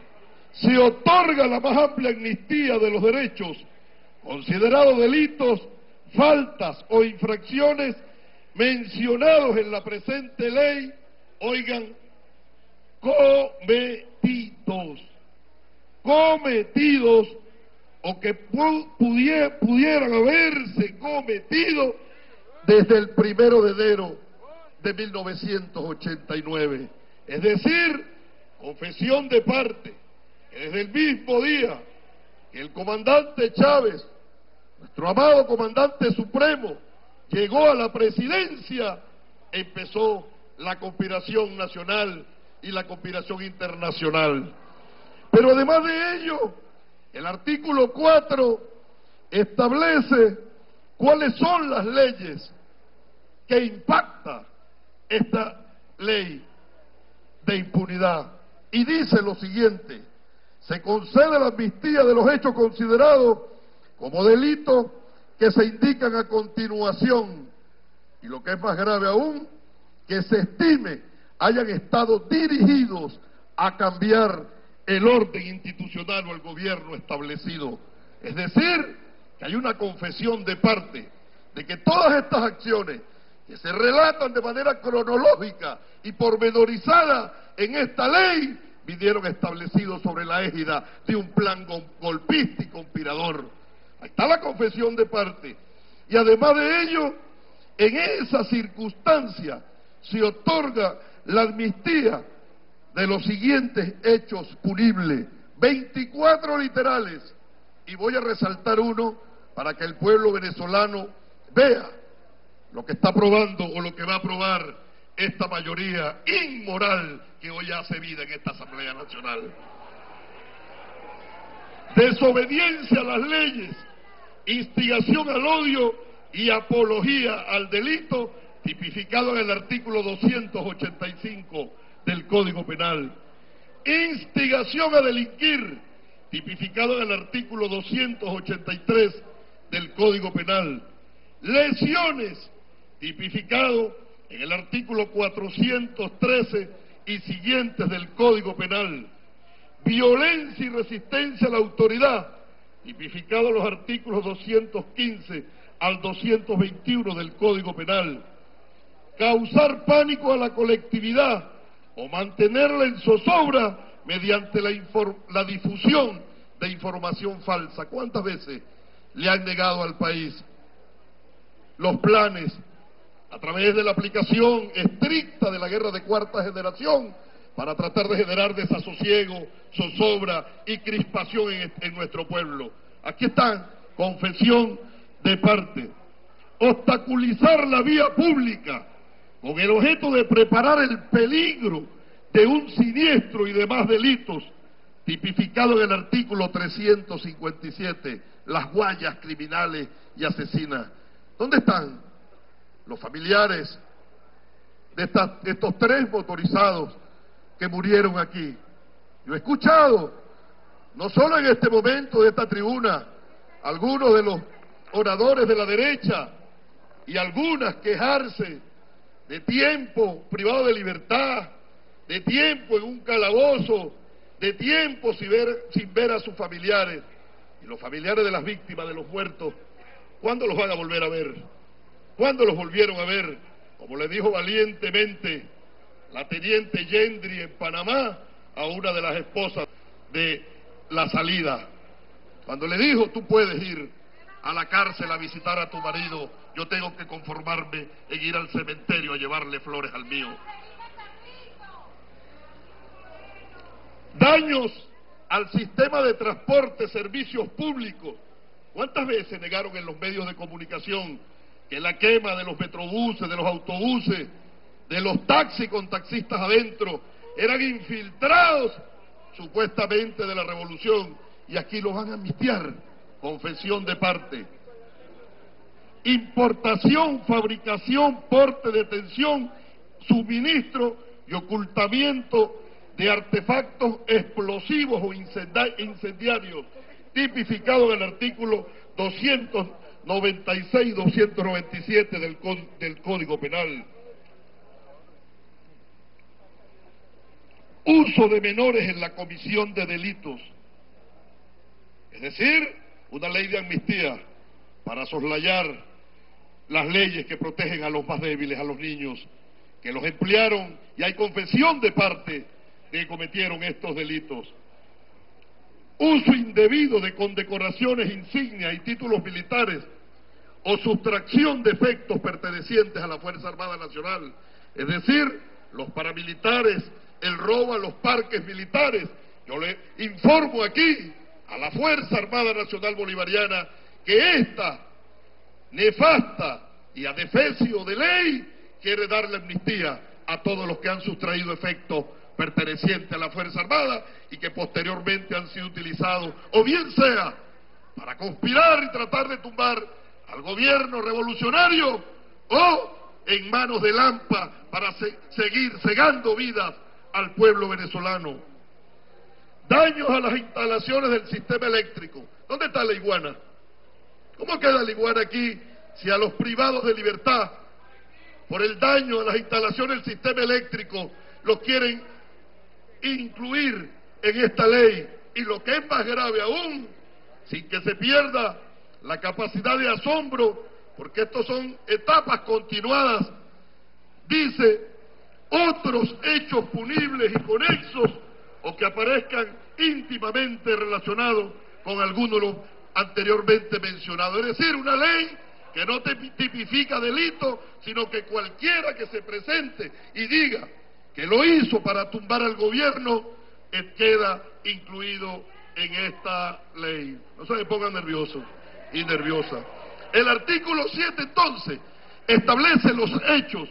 Yo no voy a entrar en los pormenores del hecho por razones de tiempo, pero en asambleas, en reuniones, en foros, en los medios, se los vamos a hacer saber al pueblo. Dice el artículo 7, la amnistía prevista en el artículo 4 de la presente ley comprende particularmente los delitos y faltas allí señalados en todas las modalidades de autoría y participación. Y si ustedes creen que eso es lo más grave, todavía falta porque dice sin perjuicio de otros que no estén expresamente enunciados en esta disposición. Es decir, que reconciliación sin arrepentimiento lleva implícito la reincidencia y esta ley viene establecida de manera tal de que se justifique la reincidencia para tumbar por medios violentos al gobierno revolucionario. Yo solo les digo que aquí hay un pueblo de pie. Yo solo les digo que ustedes se equivocan si creen que van a jugar con la dignidad del pueblo. Se equivocan si ustedes creen que con esta ley de impunidad van a salir a la calle las víctimas y a reencontrarse en esa reconciliación diputado de víctimas.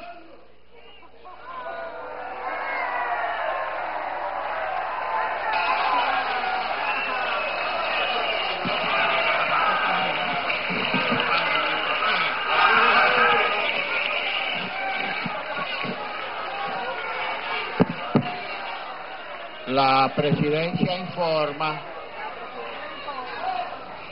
la presidencia informa que quedan en el derecho de palabra el diputado Richard Blanco, el diputado Diosdado Cabello y el diputado Henry Ramos, quien cerrará la lista de oradores. Tiene la palabra el diputado Richard Blanco y puede hacer uso de la tribuna de oradores.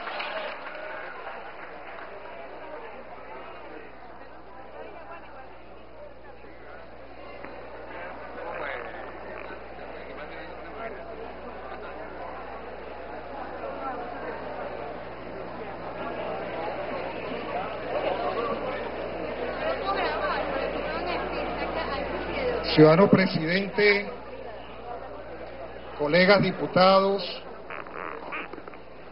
hermanos, hermanas, hijos, esposas, amigos de los presos, perseguidos y exiliados políticos venezolanos, juventud de Venezuela, que acompaña hoy a los gloriosos estudiantes universitarios que están injustamente detrás de las cárceles. Bien lo acaba de decir el presidente de la Asamblea Nacional. Soy uno de los que interviene antes del diputado que por supuesto designe el gobierno para explicarle al país por qué no aprobar la ley de amnistía y reconciliación política nacional. El 15 de enero el presidente de la República, a quien ustedes representan en este momento, dijo en una tribuna contigua, en un escenario donde estaba presente los medios de comunicación social, que él quería buscar dentro de la Asamblea Nacional y en el país nacional la reconciliación del pueblo de Venezuela parece que no le hicieron caso. Y han criticado a lo largo de este debate nuestra ley de amnistía y reconciliación política, que le digo a nuestros hermanos, a nuestros amigos, a los presos, perseguidos y exiliados políticos, que es cuestión de minutos para aprobar en primera discusión esta ley que traerá como consecuencia en los próximos meses que se puedan abrir las cárceles y las fronteras de Venezuela para que abracen la alegría de ser libre. Me dirijo especialmente en este momento a ustedes, diputados de la bancada minoritaria de la Asamblea Nacional Venezolana. Aquí, en esta ley de amnistía, para que les quede claro, y a ver si de repente ustedes, en un acto de contrición, el próximo diputado que se pare aquí en esta tribuna pueda de alguna manera decir que va a aprobar la ley de amnistía para los presos, perseguidos y exiliados políticos.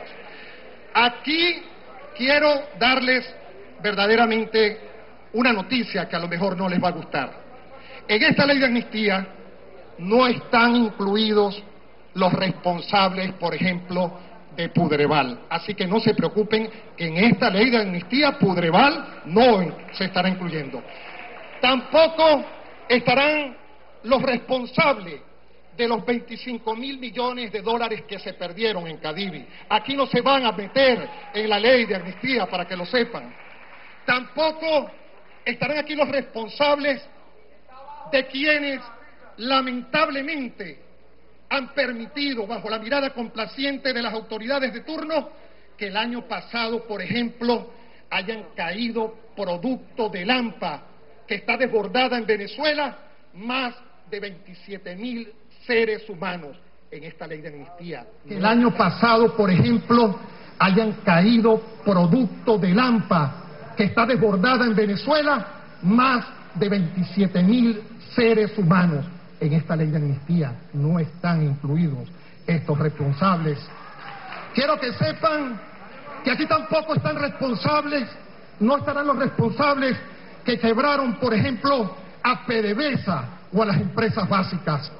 Aquí hay gente honesta, que no ha cometido ningún tipo de delito, como por ejemplo los gloriosos estudiantes universitarios, jóvenes venezolanos, que si ustedes dicen que han cometido algún tipo de delito, el único que no se puede catalogar como delito es simple y llanamente que quieren un país mejor, un país digno, un país donde no tengan que cruzar el mosaico de Maiquetía para irse porque no tiene oportunidades, porque este gobierno, definitivamente este régimen, no ha sabido atender las necesidades del pueblo. Y quiero hablar aquí de mucha gente, pero son muchos los presos, perseguidos y exiliados políticos de este régimen. Pero quiero hablar, un fiscal del Ministerio Público solicitó 26 años para una persona que no ha cometido ningún tipo de delito. Aquí está Leopoldo López, injustamente preso en Ramo Verde por el simple hecho de haber firmado con Antonio Ledesma y María Corina Machado un documento para la transición que hubiese permitido darle solución a los gravísimos problemas que tenemos los venezolanos. ¿Es que acaso ustedes creen que con los presos políticos y con la gente que han perseguido hemos solucionado los graves problemas que tenemos los venezolanos?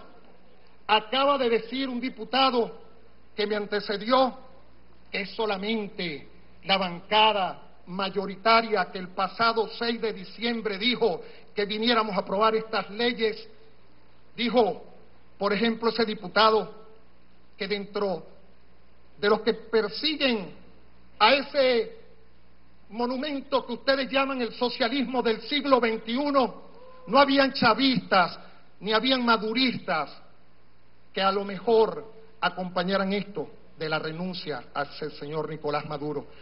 ¿Ustedes recuerdan o sufren de amnesia gubernamental? ¿Ustedes recuerdan quién es Jorge Giordani, exministro de Finanzas? Giordani denunció malversación de fondos y robo por más de 20 mil millones de dólares, denominándolo una mega estafa a la nación. Ustedes recuerdan, por ejemplo, a Héctor Navarro, exministro de Educación del chavismo, se solidarizó con Giordani y dijo, el presidente Maduro debe, necesita reflexionar frente a cómo actuar en Venezuela. Ustedes recuerdan a Ana Elisa Osorio, expresidenta del Parlamento Latinoamericano y dirigente del partido donde ustedes militan. Ella también le ha solicitado al presidente de la República que renuncie. Pero quiero decirles, quiero decirles a ustedes que los que representamos la unidad democrática en Venezuela, sí estamos de acuerdo con la reconciliación en Venezuela. Donde todos podamos abrazarnos y donde todos podamos ser hermanos. Y donde tú escuches para que aprendas a que este país cambió el 6 de diciembre cuando le ganamos los barrios y las urbanizaciones de Venezuela precisamente por la equivocación de ustedes con ese discurso que no permite la reconciliación en Venezuela. Esta ley de amnistía y reconciliación la hemos venido luchando desde hace mucho tiempo y sería injusto no nombrar en la plenaria y al país algunos diputados que hemos venido trabajando en esto, al diputado Edgar Zambrano, Hernán Alemán, Oscar Rondero, Delsa Solórzano, la diputada Forero, el diputado Freddy Guevara, y le decimos al país que esta lucha comenzó antes del proceso electoral. La primera carta enviada al presidente Hugo Chávez fue el 16 de octubre del 2012. La última carta al presidente Nicolás Maduro el 28 de diciembre del 2015. Quiero decirle a Venezuela y al mundo entero que hemos enviado 132 solicitudes de audiencia sin que ninguna se nos responda. Y aquí, en esta misma asamblea, se entregó el 5 de noviembre del 2012 el proyecto de amnistía y reconciliación política nacional y también el 2 de junio del año 2015. Ustedes saben por qué en ningún momento han querido ustedes discutir una ley de amnistía para liberar a los presos, a los perseguidos, a los exiliados políticos. Y permítanme nombrar algunos que están fuera de la frontera también, porque no solamente son los presos políticos, los exiliados como Oscar Pérez, que está ahorita en este momento su hija acompañándonos acá, quiero decirles que aquí, en la asamblea anterior, a nosotros se nos presentó la posibilidad de investigar a un delincuente de cuello rojo, de nombre Eladio Aponte Aponte, que ustedes conocen muy bien. Uno que gritaba cuando iba el presidente Chávez al Tribunal Supremo de Justicia consignas políticas dentro de un tribunal que debe ser imparcial, este, este delincuente de cuello rojo decía que no iba al imperio, porque el imperio a ellos les, les produce todo tipo de alergia. Pero hoy está fuera de Venezuela, en los Estados Unidos, y ustedes saben lo que dijo allá en Estados Unidos, que los días viernes se reunían en la vicepresidencia de la República representantes del Ejecutivo Nacional, de la Fiscalía General de la República, de la Defensoría del Pueblo, del SEBIN y de la Guardia Nacional para inventarle delitos a ciudadanos que delito no habían cometido. Que se escuche esta voz a lo largo y ancho del mundo y le decimos hoy, para que no les quede duda, a todos los que están en este momento detrás de esas mazmorras que por ahora le oprimen la libertad a muchos ciudadanos. Desde aquí le decimos a Antonio Ledesma, a Leopoldo López, a Daniel Ceballo, a los estudiantes universitarios, a todos los exiliados, que en los próximos días Venezuela se llenará de gloria al abrirle las puertas para que entre todos podamos abrazar la alegría de ser libre y para que podamos decir, bien, valió la pena el apoyo del 6 de diciembre a esta nueva Asamblea del Cambio que no se dejará doblegar por nadie, que firmará esta ley cueste lo que cueste y nadie, bajo ningún respeto, y respetará la soberanía que nos dio el pueblo este, este pasado 6 de diciembre. Que vivan los presos políticos y que viva la nueva democracia que nació el pasado 6 de diciembre. Muchísimas gracias. Muchas gracias, señor diputado Richard Blanco. Tiene la palabra el señor diputado Diosdado Cabello y puede hacer uso de la tribuna de oradores. Por supuesto que sí.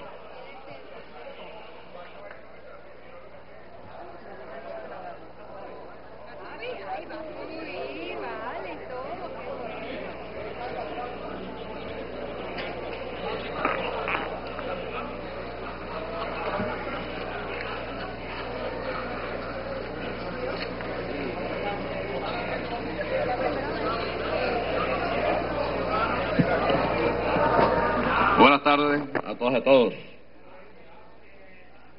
Agradezco la que nos da el Bloque de la Patria de ser vocero en este debate, debate en el cual nosotros pedimos a los familiares de las víctimas y a las víctimas que nos permitan ser sus voceros acá en este espacio. Sería un honor para nosotros representar la voz de aquellos que no tienen voz porque no tienen plata, que no tienen cómo pagar pasajes para el mundo, aquellos, aquellos que no tienen amigos chulos en el mundo a quien traer a Venezuela, de aquellos, de aquellos que han sido sometidos a humillaciones, a vejámenes, que los han acusado inclusive que andan cobrando por llorar a su familia. Si me lo permiten, quisiera ser el vocero de ustedes aquí en esta asamblea. Si me lo permiten, quisiera hablar, porque esta ley tiene un nombre, la ley, muy rimbombante, ¿no? Quiero agradecer al señor secretario de la Asamblea que nos entregó la ley firmada y sellada, ¿no? Porque no creíamos que esto fuese posible. Y la solicitamos para estar seguros que esto era un proyecto de ley. Para estar seguros, para estar seguros que esta locura tenía quien la refrendara. Y nos los entregó, se lo agradecemos. diputado Víctor Clar fue y nos los, nos los entregó. Porque nosotros habíamos leído una que nos envió un patriota cooperante de la oposición. Y nos dijo, y me dijo, esto es una locura, Diosdado. Y yo lo leí en el programa. Y yo pensé, yo pensé que esa persona, eso era en verdad que eso era lo máximo, lo peor que podía ocurrir. Pero aquí le agregaron otras cosas. O sea, al proyecto presentado le agregaron otras cosas. Por ejemplo, en el, en el que yo leí no aparecía el terrorismo, ni el financiamiento del terrorismo. Tampoco aparecía la droga. Tampoco aparecía el narcotráfico. Y qué bueno, vale. Qué bueno. Porque, ¿qué ha ocurrido? Que esto pone las cosas en su lugar. Esto pone las cosas en su lugar. Nosotros tenemos, nosotros tenemos una propuesta de no ponerle el nombre a esto, ¿verdad? Que no, no, no merece el nombre de amnistía y reconciliación, sino el, el nombre de amnesia criminal. Porque lo que propone es que nos olvidemos de todo.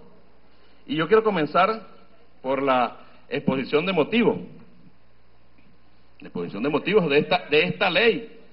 Porque esta ley dice que abarca delitos desde el 99 hasta que se aplique, que se apruebe, que se apruebe. Esta, esta propuesta dice una valoración especial en su en su exposición de motivos, corresponde al decreto Ley Especial de Amnistía dictado por el presidente Hugo Chávez en diciembre de 2007, el cual recoge fielmente el sentido político y constitucional de la figura y pone de relieve su vinculación con el valor de la paz. De Hugo Chávez, porque usted lo quisieron tumbar desde el 99. Aquí hay crisis, parece que, hay, que es desde el, desde el 99. Aquí hemos escuchado oradores de la oposición que vienen a defender su parcela su parcela. ¿Quién de su partido, de su grupo está metido aquí? Cada uno. Esto es lo que deja en evidencia, que cada uno de estos artículos, y sabemos que es así, y lo vamos a presentar como corresponde, cada artículo, esta ley se ha convertido en una mercancía. Si usted quiere aparecer en esta, en este, en esta ley, en un artículo tiene que pagar tiene que pagar. Y va, se los voy a explicar, se los voy a explicar. Si usted aparece en un artículo con nombre y apellido, claro, no dice nombre y apellido, pero los delitos que cometió, usted tiene que pagar algo. Pero si usted aparece en uno genérico, como por ejemplo el artículo 4, que es genérico, ese es para el perraje, pues. Ese es para el perraje. Tanto es, tanto es que se acabaron las letras del abecedario. Tanto es que se acabaron las letras del abecedario. Hay gente, hay gente de los banqueros prófugos que están reclamando porque ellos pagaron y no están incluidos expresamente.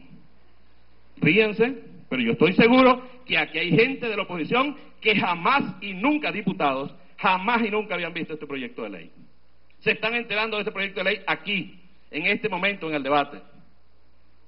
¿Será cierto o será falso? Falso. Miren, vean las cámaras de televisión, porque las cámaras de televisión traicionan. Cuando aquí Héctor Rodríguez leía un artículo X, que aparecían allí aquellos que usan menores para la comisión de delitos, algunos de ustedes decían, no puede ser. Fueron captados por las cámaras.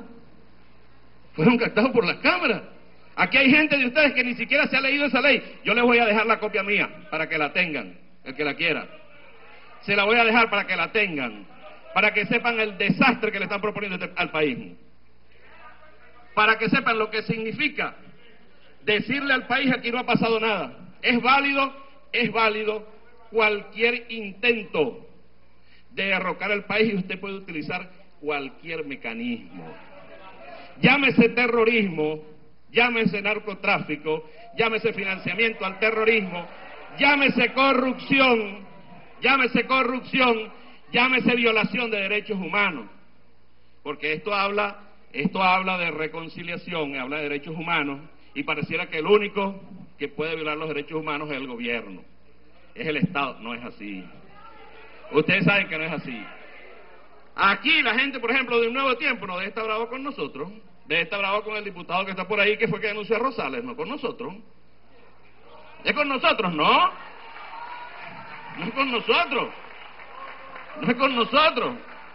Miren, yo llego a la conclusión que tal cual está esta ley, tal cual está esta ley, es para que no se apruebe.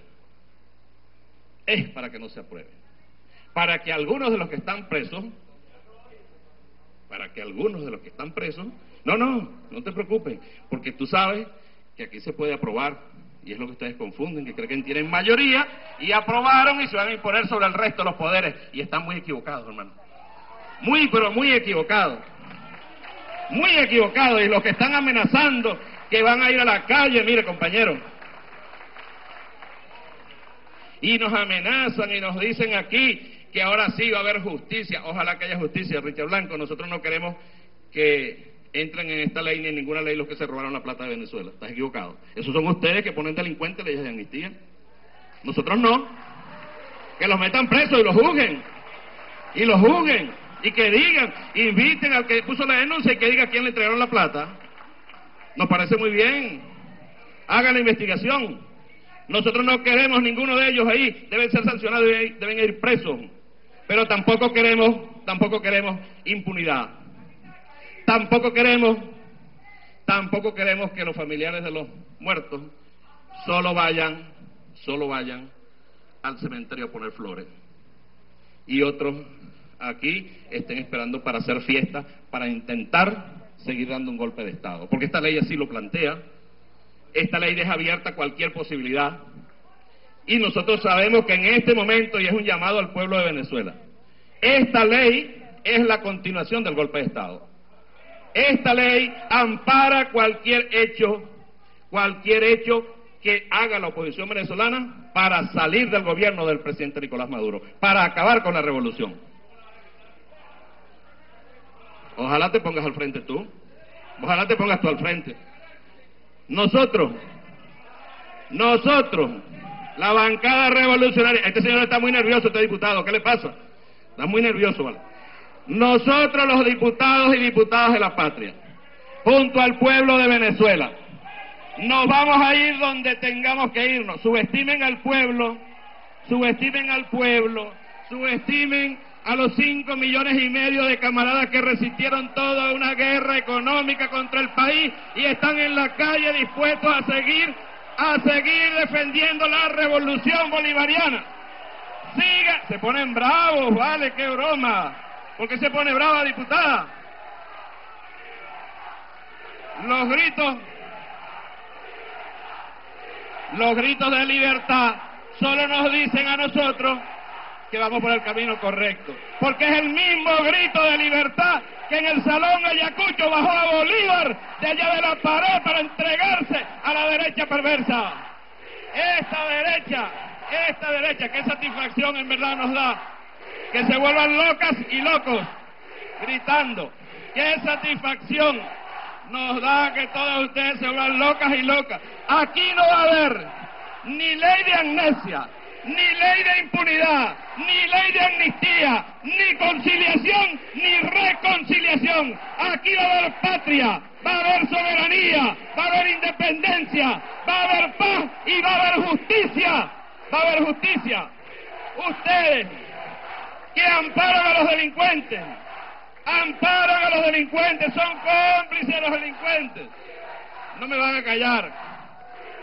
No me van a callar, camarada. Yo estoy curado. Muy curado. Desahóguense, porque yo sé que ustedes me quieren y yo los quiero mucho también. No me van a callar. Aquí, ustedes pueden hacer lo que quieran, pero esa ley de impunidad no va a ser ejercida ni va a ser ejecutada. No va a haber libertad para los asesinos. No va a haber libertad para los asesinos, tengan la seguridad. No va a haber libertad para quienes acabaron un país. No va a haber libertad para los que trafican con droga, para los ladrones. No va a haber libertad. Aquí va a haber paz, va a haber justicia, va a haber justicia. Cada uno de ustedes que cobraron algunos esto que yo estoy diciendo, tienen que defenderlo y los entiendo, por eso gritan. El que más grita, más cobró. El que más grita, más cobró. El que más grita, más cobró.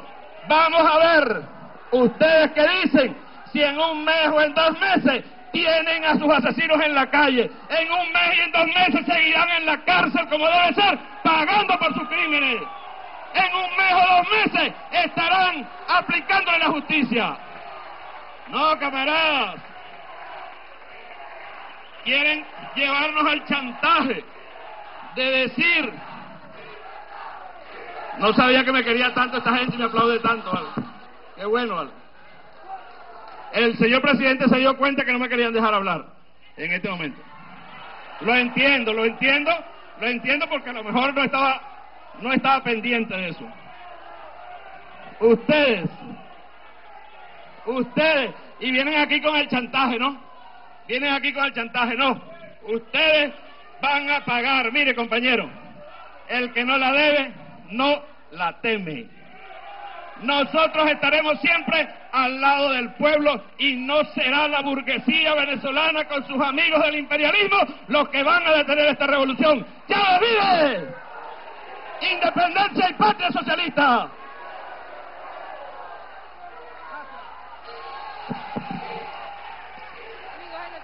Globovisión, el discurso ofrecido por el diputado a la Asamblea Nacional, Diosdado Cabello, en respuesta a la presentación del proyecto de ley Amnistía y Reconciliación Nacional.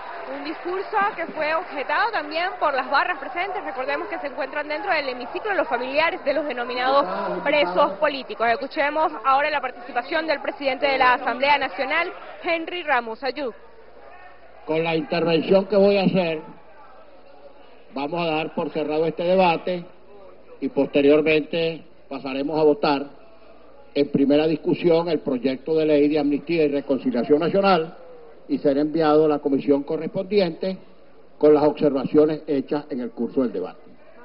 Quiero comenzar por decirle cordialmente a los colegas de la bancada del gobierno que hoy no han tenido exactamente una buena tarde y no han tenido y no han tenido una buena tarde no porque en ese sector no exista potencialidad parlamentaria, capacidad, luces, ilustración, conocimientos, no por nada de eso, sino simplemente porque no tienen razón.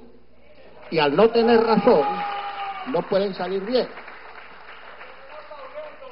Yo he escuchado con mucha atención hasta las intervenciones que no se deberían escuchar.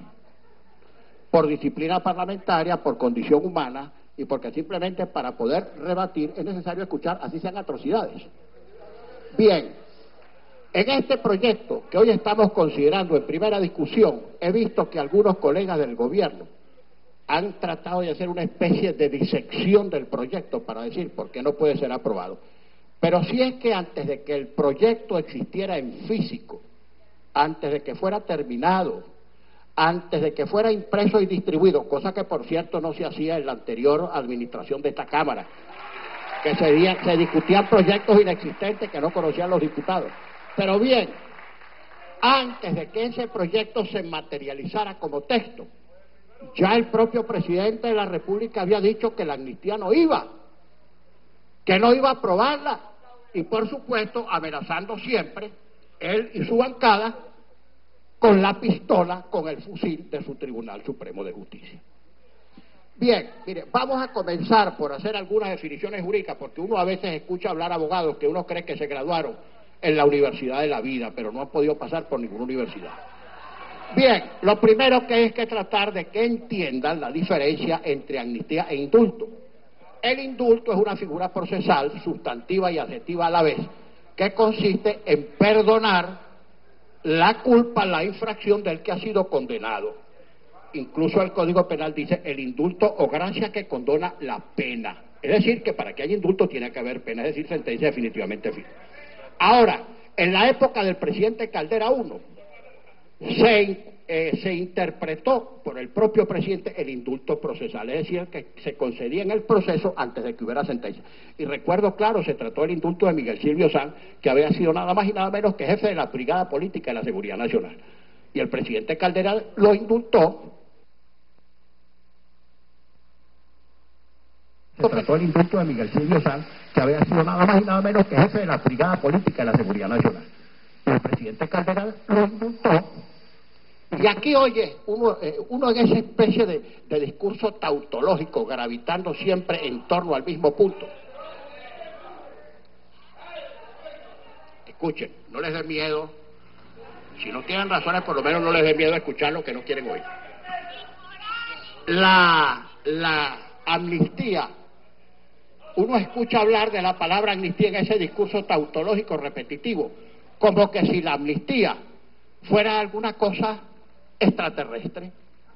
Señor, la amnistía presupone, y ahora me voy a referir a los casos que están incluidos en la amnistía, en la ley de amnistía, que nunca fueron delitos porque no se cometieron, eso es otra parte, pero la amnistía supone que se haya cometido algún tipo de delito, contravención o falta, porque si no hubiera infracción penal no habría nada que amnistiar. Eso se cae de maduro. Por ejemplo, para citar un caso, si en medio de una eh, de una manifestación política, un manifestante comete una infracción, por ejemplo, quema una unidad de transporte, ahí hay un delito. Por supuesto, si se promueve la ley de amnistía para ese tipo de delito, es para condonar o para borrar el delito que se cometió en una manifestación política. Porque si no hay delito, no hay nada que amnistiar. Eso se cae de maduro. Entonces parece que no lo entendieran. Y esto es elemental. Ojo, no hay ni que ser abogado, sino simplemente tener una pizca de sentido común, de racionalidad, es decir, de cacumen, de cerebro. Bien, pero uno oye a, veces a los colegas, uno a veces oye a los colegas del gobierno hablar. Mire, allá hay algunos abogados que no saben ni cuáles son los elementos del delito. Que si le pregunto cuáles son los elementos del delito, los raspo. Se los voy a decir para que lo anote, colega. Acción, tipicidad, antijuricidad, imputabilidad, culpabilidad y condiciones objetivas de punibilidad. Anote para que aprenda derecho penal. Porque hay abogados que son penalistas porque dan pena. Son penalistas porque dan pena. Bien, y aquí están hablando como que si la justicia en Venezuela fuera ascética, pulcra, transparente. Señor, ¿cómo puede ser un jugador transparente, transparente, si aquí era diputado, perdió las elecciones porque lo vapulearon y al día siguiente aparece de vuelta el Tribunal Supremo de Justicia. Ese es un juez imparcial. Ese es un juez imparcial. Esto es una grosería y una inmoralidad de nada, chicos, es lo que es. Vergüenza les debería dar. Vergüenza.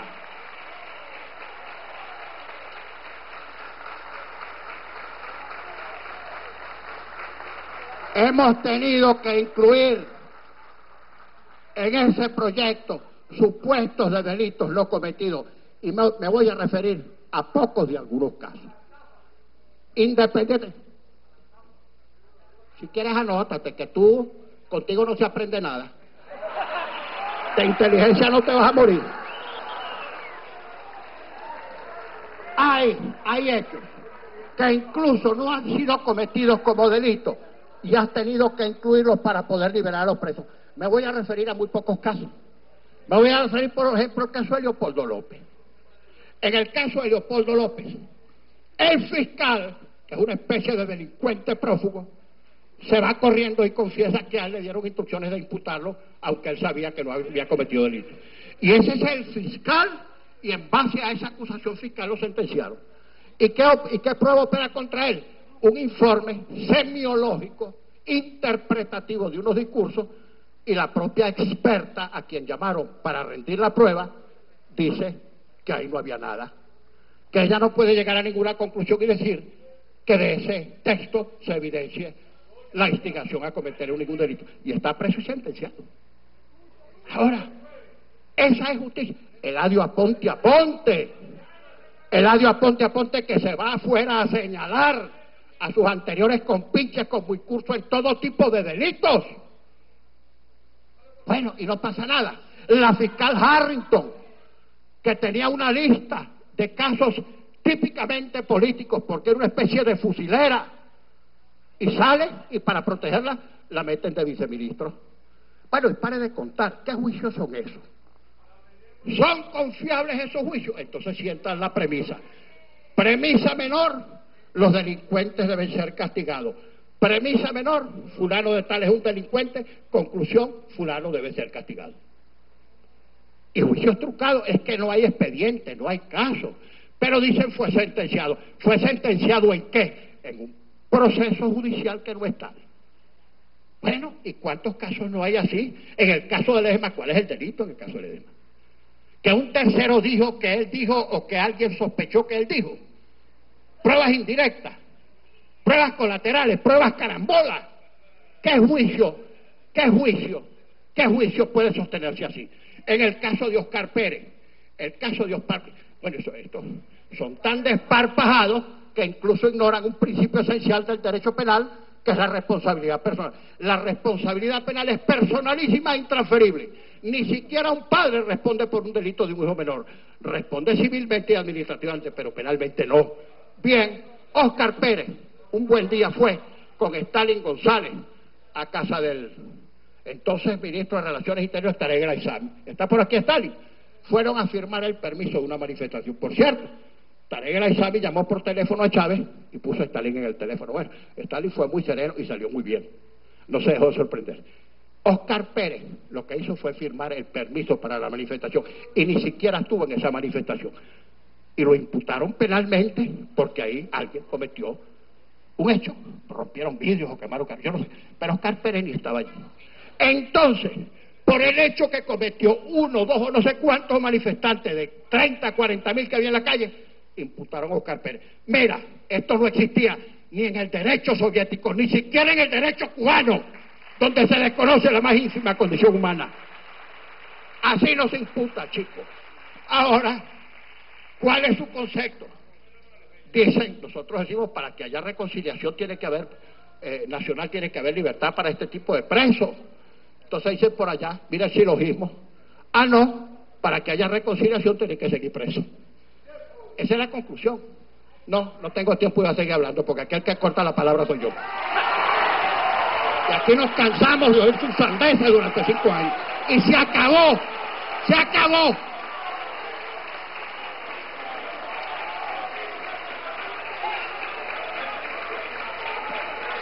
Les quiero decir unas pocas cosas más cuando concurrimos a Miraflores, tú no tienes eso, ¿vale? Tú lo que haces es gritar, tú eres un gritón. Cuando fuimos a Miraflores, el 10 de abril del año 2014, convinimos después en que se constituyeran comisiones de trabajo para tratar de tomar algunas medidas y la, la comisión se constituyó, allí estuvo Elías Agua, allí estuvo Ramón Guillermo Aveledo, ahí estuvo Roberto Enrique, pero no se llegó a nada porque pasaron nueve meses y lo único que hicieron fue concederle una medida sustitutiva a Iván Simonovic y por eso fue que fracasó esa instancia. Y después de eso, desde allá hasta aquí, no ha ocurrido ningún contacto ni ningún evento como para que se puedan dar algunos entendimientos para lograr la reconciliación nacional. Ahora, este gobierno en su agonía, solo sostenido por el alto mando militar y por el mal llamado Tribunal Supremo de Justicia, no podrá seguirse sosteniendo de espaldas a la realidad nacional, ni que metan presos, ni que amenacen con fusiles, ni que atropellen, ni que chantajeen, ni que sigan delinquiendo. No nos van a docenar y van a salir del poder de manera democrática, constitucional, pacífica, electoral, porque ustedes han causado una enorme desgracia en Venezuela y van a salir del poder.